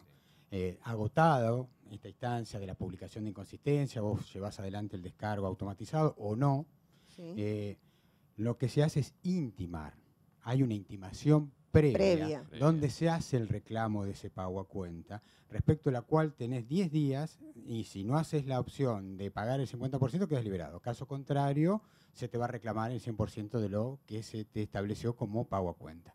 Y ahí es la instancia en la cual vos podés presentar un descargo y consecuentemente se arbitran todos los medios legales.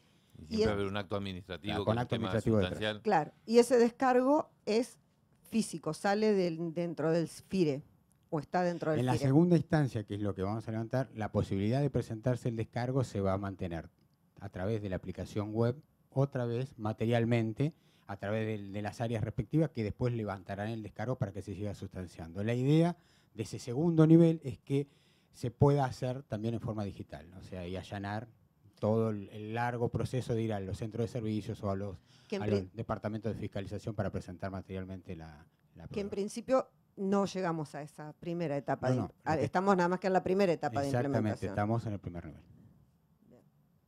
Gracias. Dos cosas nada más.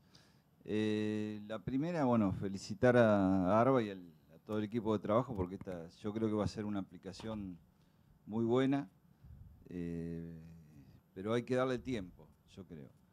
Y segundo, eh, si se puede saber cuáles son los otros 13 cruces que, faltan. A ver. Son cruces clásicos que ya venimos haciendo, pero... Sí, no, básicamente, o sea, lo que nosotros tratamos de verificar es la conducta del contribuyente en lo que es la columna vertebral del impuesto. ¿sí? Eh, a nivel de lo que nos declara como ingreso, tenemos distintas fuentes con las cuales conciliar. Una de las que utilizamos ahora y estamos observando en el ejemplo y la que va a salir a partir del 20 es con respecto al impuesto al valor agregado. También nosotros podemos llevar adelante cruces o conciliaciones de ingresos con otro tipo de fuentes. Eh, ingreso contra ingreso bruto declarado, gasto contra ingreso bruto declarado. Exactamente. Así, dentro del lado de ingresos, podés tener cuatro o cinco tipos de inconsistencias diferentes. Lo mismo sigue respecto de la alícuota que nos declaran para cada una de las actividades, si aplican correctamente o no. Siempre hablando de impuestos sobre el ingreso bruto. El tema de revisión de alícuota este año nos dio un jugo importantísimo, digamos, un tema muy importante, que por allí ustedes en la profesión no, lo ven, pero en los grandes números es sustancial los ajustes que hemos hecho este año y la verdad es un ajuste bastante simple, pero que da su... Y que los niveles de conformidad que logramos en esos procesos son, son altísimos, altísimos. Eso habla bien de la característica del cruce, ¿no? Eh, y fundamentalmente otro del, va también orientado a lo que es el pago a cuenta declarado en exceso, ¿no es cierto? donde se confronta lo declarado por el contribuyente versus lo informado por los agentes y demás. Eso por el lado solamente del contribuyente. El resto de los cruces se siguen armando desde el punto de vista de la conducta del agente de recaudación. Ahí está desde la aplicación propia de qué hace respecto al padrón que ARBA le sube en relación a la alícuota sujeto, como a la omisión de actuar o como los supuestos de defraudación. Eso, en cierta forma, es lo que retroalimenta y nos permitiría llegar a esos 14 tipos de inconsistencia. Este tema de la progresividad también es, es interesante verlo desde, ya que tenemos esta posibilidad de interactuar, bueno, cómo lo vemos nosotros del lado del mostrador, que es la cantidad de conformidades. Nosotros vemos un cruce bueno o malo eh, por la litigiosidad que ocasiona y por la, la, la, cómo le ponemos en evidencia al contribuyente cuál es su situación fiscal. Este es un, jugo que, perdón, un, un, cruce que da mucho jugo porque le decimos, hermano, tenés esto que está acá y esto que está acá, ¿qué pasó? Digamos, eh, la verdad es que ahí tenemos porcentajes muy altos de, consentimiento de, cada uno de los temas. Y si ahora detrás de esto saben que vienen otros, que esto es en línea y que, em, que es otro, otro tema interesante de, lo que nos ofrece este sistema. Antes de hacerlo escalonado, es un corte, de, un corte del cruce, eh, la selección del caso, la notificación, el expediente y después otro y otro y otro. Y bueno, y todo el mundo sabe, y yo, estado el otro mostrador, también sabe que bueno, que por allí el otro cruce no va a venir, este, o, le conviene a uno dilatar, este, o su cliente opta por dilatar la discusión hasta el último día, este, y, ver qué pasa y ver si ese expediente pasa lo que, lo que dice Juan. Bueno, especulan con nuestra poca capacidad de, de las administraciones tributarias en general, la poca capacidad de procesamiento, uno sabe que presenta el descargo y vaya a saber qué pasa. Bueno, acá no está el vaya a saber qué pasa, acá hay una secuencia que se va a cumplir inexorablemente, entonces nosotros lo que tendemos a que cambie la conducta de, ese contribuyente y esperamos, y esta es la calidad, y lo que nosotros estamos vamos a estar monitoreando es la calidad del cruce. La calidad del cruce se da por la cantidad de, de, acogimiento, de, de consentimiento a, la determinación efectuada. Nosotros tenemos mucho optimismo en relación a este tema, tenemos estandarizado cómo viene rindiendo cada uno de estos cruces y vamos a ver qué pasa cuando se hace este cruce masivo y continuo, pero, pero no es que nosotros largamos el barco y que llegue donde llegue, nos vamos a ir monitoreando porque nosotros eh, como bien dijeron, es un tema revolucionario. Para nosotros también este, lo largamos con mucho entusiasmo, pero con mucha prudencia en ese aspecto. ¿no? Acá, sí. Quería volver, acá por acá mencionaron recién el tema de eh, el saldo a favor que se traslada del año 2013 con las declaraciones juradas web. Yo no sé si ustedes me lo pueden contestar o por ahí lo tienen que consultar con la mesa técnica.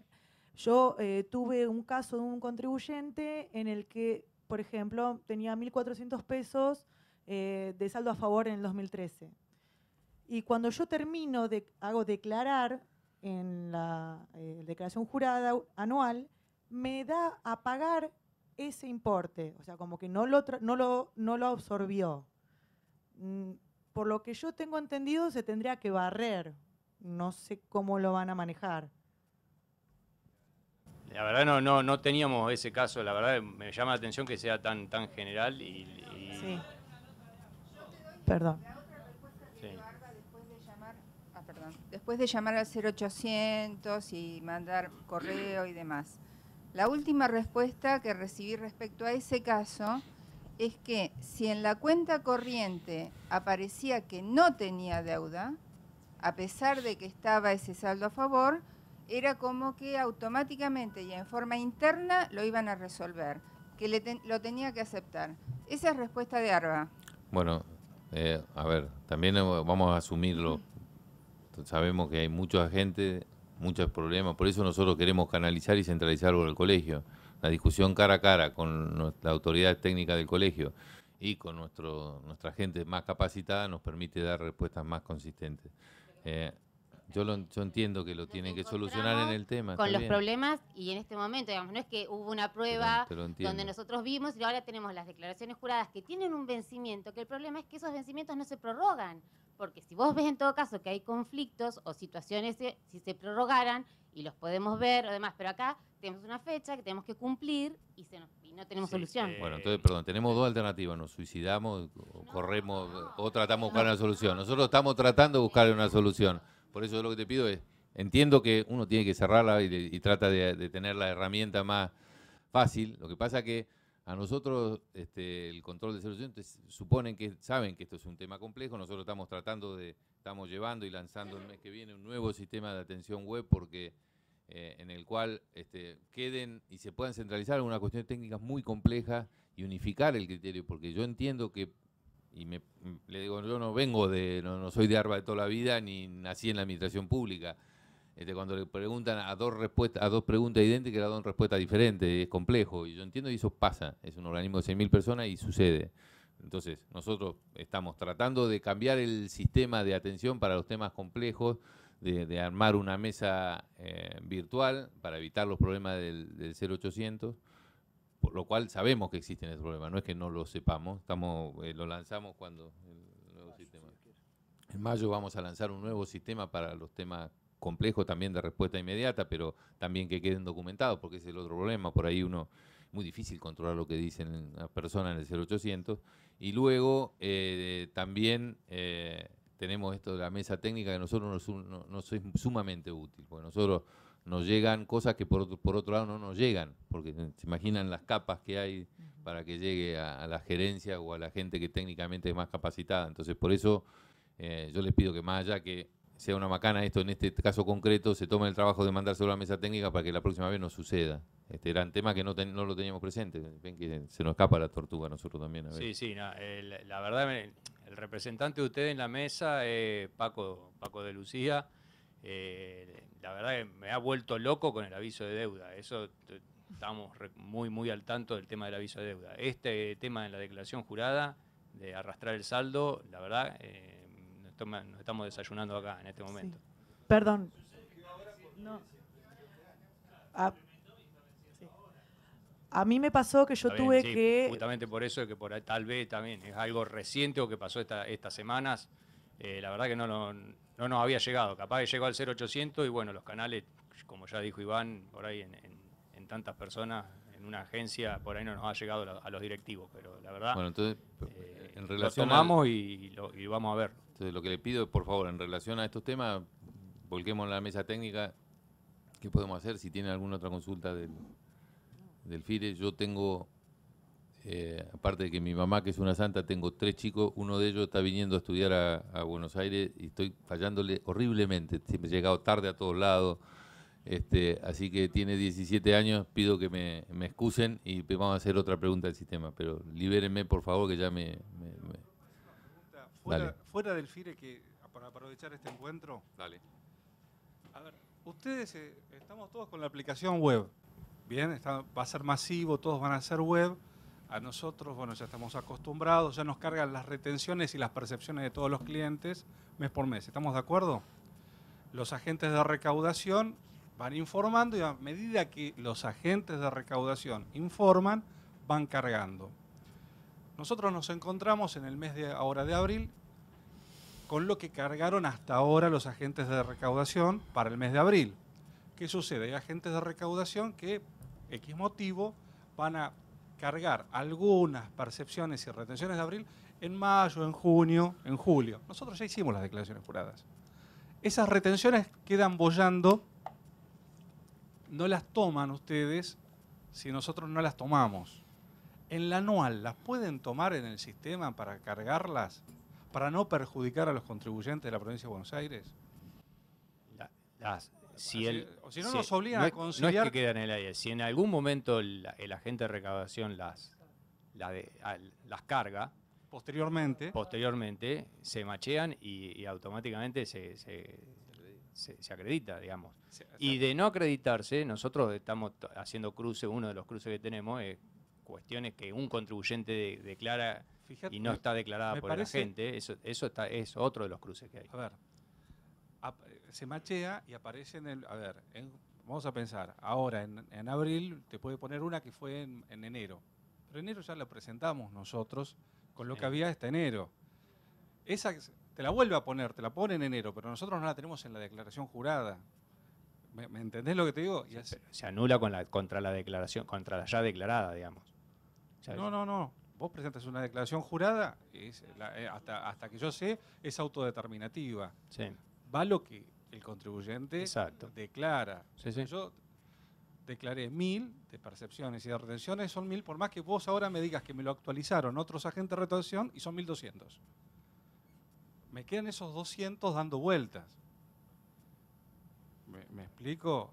Sería bueno que cuando se hace el anual, que mucho sentido y no tiene tanto el anual, todas estas que ustedes saben, porque ustedes es una, una pavada, saber, mira, tomó mil y eran 1200 en este mes que el, el anual las pongan a favor del contribuyente. O al mes, no, al anual. Porque En ese caso sería no a favor, sino porque te- la tenés dos veces, digamos. No, no, La no, toma- no. La tomaste vos. No lo entendés, no lo entendés. Es au- Por eso. el agente de recaudación, me lo- cuando lo informa, yo ya hice la declaración jurada. Yo no me lo vuelvo a tomar dos veces. Yo ya presenté esa declaración sí. jurada. Con posterioridad, el agente de recaudación informa nuevas retenciones. Que vos las informás, pero nosotros nunca las tomamos en la declaración jurada. Está bien. Sí, sí. Perdóname, si no tenés que estar rectificando permanentemente toda la declaración Sí, jurada. sí, sí. Eh, o sea, se puede rectificar. Sí, sí, Nos sí. duplica No, el no. trabajo. O sea, el 12 No, no, presentan las retenciones y percepciones, el 18 comienzan a Sí, en vencer. el anual, en el anual Yo eh, quiero presentarla el 10 porque tengo los datos. No puedo. Tengo que esperar al 14 o al 15. Tampoco entraron las retenciones y percepciones. Entonces tengo que estar presentando cada declaración dos veces. Sí, sí, en, en el anual lo podemos, Lo pueden solucionar. lo podemos solucionar, sí. Bueno, pues el Gracias. sistema no está, es una buena sugerencia para que se cargue automáticamente en la anual. Y la verdad que con la Decla Web la idea es que esto en los años se vaya, se vaya solucionando. digamos. No tenemos solamente 150.000 en la declaración jurada web. ¿No? Nosotros Sí, en realidad está- estamos recién, en- hay un cronograma de ingreso por, por NAIB a la declaración jurada web, que es el, digamos, vendría a ser lo que les va a terminar de facilitar este- este- esta- esta- esto que vos estabas comentando. Eh, a medida que, va el cronograma avanzando, estamos en ciento, un poco más de 100.000 contribuyentes. Para llegar a, digamos, a la totalidad, vamos a ir avanzando en, la medida de que los sistemas, digamos, no, no los colapsemos. Y, la verdad es que ahí se empiezan a solucionar un, montón de cuestiones entre lo que toman los- el, el contribuyente y lo que retienen los agentes. Todo. En Arbanet estamos también, para que vean que estamos haciendo circular un documento interno sobre alternativas de Arbanet. Ese documento tuvo alrededor de 60, bueno, hicimos una charla de presentación sobre alternativas, digamos, el Estado, cómo se gestó el Arbanet, cuántos, digamos, cómo, cómo funcionó en los primeros años y en qué ha ido derivando para algunos, degenerando para otros. Este, y la verdad que las diferentes áreas de la organización piensan cosas muy diferentes de qué hacer con Arbanet. De aquel que quiere pegarle cuatro tiros y que vayan todo el mundo a una declaración jurada, a aquellos que le quieren enriquecer el sistema. Eh, nosotros lo que pensamos hacer es eh, este, este documento inicial, también este, ahí nos copiamos de los ingleses que hacen estos white paper, que ante un problema hacen un procedimiento de consulta, primero interno, estamos diciendo cuáles son las alternativas prácticas y académicas ante esta situación. Estamos consolidando, se cerró el viernes pasado el mecanismo de consulta interno, estamos consolidando, este, enriqueciendo esas alternativas y la idea es hacer en, dos o tres meses una jornada académica y profesional con este mismo formato. Eh, exhibirle a ustedes cuál es la visión del organismo de cómo ha evolucionado el Arbanet y cuáles serían las alternativas. Porque sinceramente nosotros mismos no nos ponemos de acuerdo. El área de fiscalización a cargo de, de Juan este, le tiene, tiene muchas prevenciones en torno a, ir todos a un sistema autodeclarativo. Eh, algunos otros sostienen que el futuro es la declaración jurada web, por lo tanto tenemos que ir hacia allí. Eh, por lo tanto, este, este documento va a permitir que también antes de tomar una decisión, el sector profesional y el académico intervengan en esta discusión que para nosotros es sustancial, qué hacer con los, con los pequeños contribuyentes. Así que, eh, reitero, este documento inicial se va a ver enriquecido por estas 60 propuestas internas que tuvimos. No la quisimos hacer en forma piramidal, sino que cada uno lo haga por sector, en forma independiente, pero no este, por cada una de las áreas. y creo que en un mes vamos a estar en condiciones de exhibir este documento y planificar junto con el Consejo unas jornadas uno o dos días para repensar Arbanet, pero sobre una base eh, de un documento eh, bastante concienzudo, elaborado por el organismo, sobre cómo es nuestra visión o la visión de nuestras diferentes áreas sobre el Arbanet. Es un tema que a mí, bueno, ya quedan pocos meses, pero me parece que nos debemos entre todos los que estamos en este ambiente una discusión seria de qué, de qué hacer con el Arbaneta. Así que esa es la, la idea. En un mes van a tener este documento publicado y vamos a acordar con el Consejo cómo hacer una jornada en relación al tema. Me voy, que mi hija Victoria me va. Bueno, si no hay más preguntas, comencé diciéndoles que este es, eh, previo a esto le voy a decir al doctor Riglos este, y a todos ustedes que la mesa técnica este, podemos receptar todas las inquietudes que ustedes nos presentan.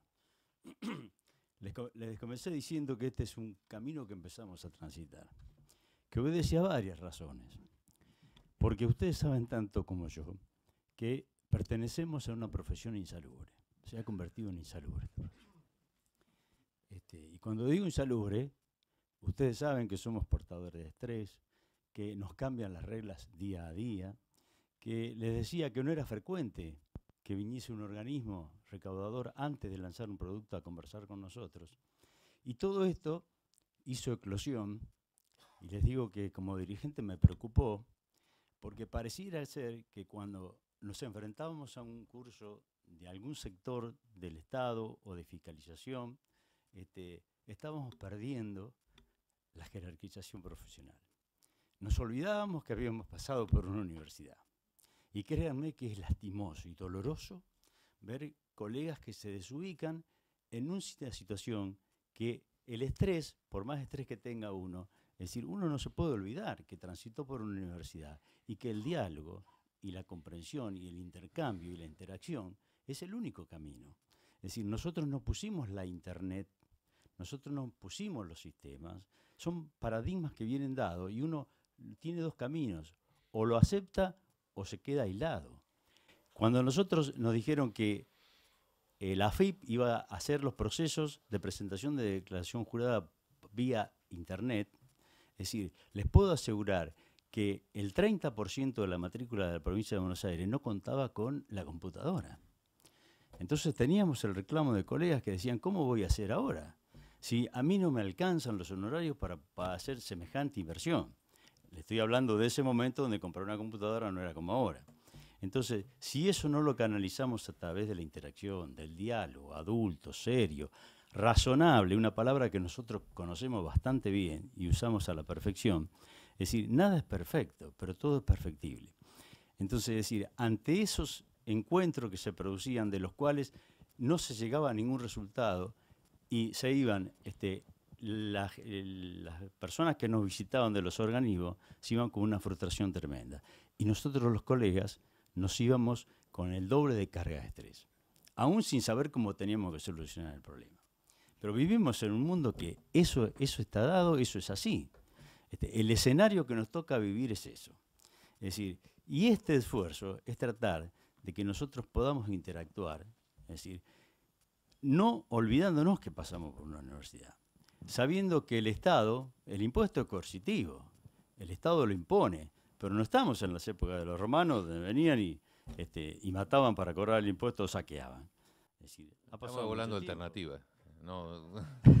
Puede haber otra alternativa. Entonces, indudablemente, es decir, yo les felicito y la verdad es que les agradezco infinitamente, este, en especial porque las preguntas han sido claras. Este, que la pregunta esté imbuida de esa carga que tenemos es un virus que tenemos y no lo vamos a sacar porque no hay vacuna contra eso. No hay vacuna. Somos portadores de una profesión insalubre. Es decir, donde tenemos todos los meses cargados de vencimiento, es decir, no hay semana libre, no tenemos la, suerte que tienen nuestros primos, este, que tienen un mes de feria, que es imposible, un mes y medio. Es decir, donde la ciudad queda desierta este, y nosotros seguimos trabajando. Y cuando tenemos los vencimientos, no va a faltar el día que el sistema se cae y los, y los eh, proveedores de los servicios, uno los llama y dice, es un problema masivo, ya lo vamos a solucionar. Bueno, es decir, yo entiendo cuál es el problema, Pero no tenemos otro camino que el, camino inteligente, racional, y decir, bueno, hagamos algo en conjunto. Por eso le decía al principio que cuando hay hombres y mujeres que la acción la traducen en hechos, es decir, eso va a ser productivo. Y yo creo que esta, más la iniciativa, porque este, eh, nos había comentado eh, el doctor Budassi que estaba en stand-by el Arbanet, este, porque hay posiciones de sacarlo o no sacarlo. Ustedes saben que en la profesión también tenemos ese dilema. Hay quienes están a favor y hay quienes están en contra. Este, bueno, el único ámbito donde nosotros podemos hacerlo es nuestra casa, que es esta. Es decir, y si acá ustedes eh, vienen y consultan y hacen las preguntas y tienen la interacción con los que ponen en aplicación las normas, es decir, yo creo que el camino no puede ser, este, no puede ser un resultado negativo, tiene que ser un resultado positivo, indudablemente. Este, he visto que dos o tres colegas han dicho que esto es productivo, decir, lo cual me llena de satisfacción. Este, a veces uno eh, viene con otra carga emocional a esto, este, este, cargado con qué se vendrá el organismo recaudador en este momento. Bueno, la forma que empezamos a transitar, espero que tengamos buenos resultados, este, en eso estamos empeñados, es que sea un diálogo racional, este, respetuoso, este, porque los diálogos cuando empiezan con ruido, este, no se llega a conclusiones este, exactas. Siempre cuando uno piensa, medita, consulta, este, es la única manera de llegar a buen puerto. Así que te vuelvo a agradecer, Iván, a vos y a tu equipo. No es peyorativo esto que dije que cuando uno gente cuenta con gente que la acción no es meramente declarativa. Hoy lo estamos demostrando. Lo que hace tiempo nos parecía imposible, creo que con el tiempo, eh, si uno se propone, lo va a lograr. Así que les agradezco infinitamente, es decir, la presencia de ustedes, pero el comportamiento que han tenido. Te vuelvo a agradecer, Ivana, de todo tu equipo, este emprendimiento de empezar a trabajar juntos. Y no digo que esto va a ser, que no van a hacer la declaración jurada, que no falta mucho. ¿eh? Tenemos que ir preparándonos los colegas que algún día AFIP va a hacer el recibo de sueldo, como los hace, va a hacer las declaraciones juradas, nos van a pedir los datos y nosotros vamos a tener que pensar seriamente qué vamos a hacer. Este, recién escuché que Iván decía que la declaración de IVA e ingreso bruto iba a ser simultánea. Bueno, pero ese es el futuro. Si del pasado no puedo cambiar nada, lo único que puedo hacer es adaptarme al futuro en las mejores condiciones que pueda. Para eso necesito capacitación, para eso necesito interactuar con los que hacen las normas y eso, cuando hablé hoy de jerarquización de profesional, porque uno a veces no sabe qué respuesta darle al contribuyente. Por lo tanto, no van. Ustedes saben que los contribuyentes nuestros no son como los contribuyentes de los abogados, este, que, van una vez y los atiende cinco o seis días, les resuelve el problema este, y tienen la contraprestación, porque vos sabés que he llegado a la conclusión de que todas las profesiones tienen la materialización de la contraprestación. Sí, porque si yo estoy en la cárcel porque me llevaron preso y quiero salir, lo llamo a Audaz y digo, sacame. Bueno, este, cobre lo que cobre, porque ahí se juntará la familia después para ver cómo me saca. Si tengo un problema de sucesión, que se pelean todos los herederos, ¿quién va a resolver el caso del abogado? Bueno, habrá que juntar de donde sea para, pagarle al abogado. Pero hay una contraprestación. Yo siento que me da la libertad. Siento que la, la, sucesión se me soluciona. El médico, si me van a operar porque es la vida y la muerte, viene el cirujano, por favor, esto lo sacamos de la grabación, ¿eh? que, no, que no quede. Este, y cobra en dólares, se juntará la familia, pedirá préstamo, pero el médico lo opera y yo salgo del hospital que estoy vivo. Hay una materialización de la contraprestación. Si viene un arquitecto y le digo, haceme una casa, pero te va a salir un millón de dólares, no importa. Pero yo pago el millón de dólares y después mi señora me, está contenta porque dice la casa que quería, invita a los amigos, los amigos vienen a la casa, la ven, la disfruto, la vivo, la comparto. Hay contraprestación, hay materialización de la contraprestación. Nosotros, el cliente no sabe lo que le hacemos. La mayoría de las veces no le hacemos firmar las declaraciones porque ¿para qué? Es decir, tómense el trabajo ustedes, porque yo me lo he tomado, de decirle, mira, un día que tengas tiempo, venite que yo te voy a explicar cuál es el trabajo del profesional. A los 10 minutos me dice, yo confío en vos, no me venga con esa cosa que demasiados problemas tengo. ¿Se dan cuenta? Entonces, sí, no podemos, nunca el contribuyente va a sentir materializado, porque encima que le tenemos que pagar los impuestos a ARBA y a FIP, nos tienen que pagar los honorarios, que eso es otro tema. Así que bueno, este, pero eso nos lleva a que nos desbordemos y a que tratemos de no buscar soluciones. Yo creo que este es un primer comienzo y espero que lleguemos a un puerto. Yo te vuelvo a agradecer, le vuelvo a agradecer a tu equipo, porque este, ustedes han trabajado muchísimo y doy fe, este, y nosotros de la mesa técnica, ustedes piensen lo siguiente, el consejo está para brindarles el servicio, si no, no existe. Entonces, este, usted tiene que aprovechar esto. Si tengo que hacer una pregunta, una consulta, voy a la mesa técnica. De ahí en la mesa técnica, con el doctor de Lucía, como le decía el licenciado Duguine, se la vamos a canalizar y vamos a tratar de, encontrar la solución. Gracias a ustedes y hasta la próxima.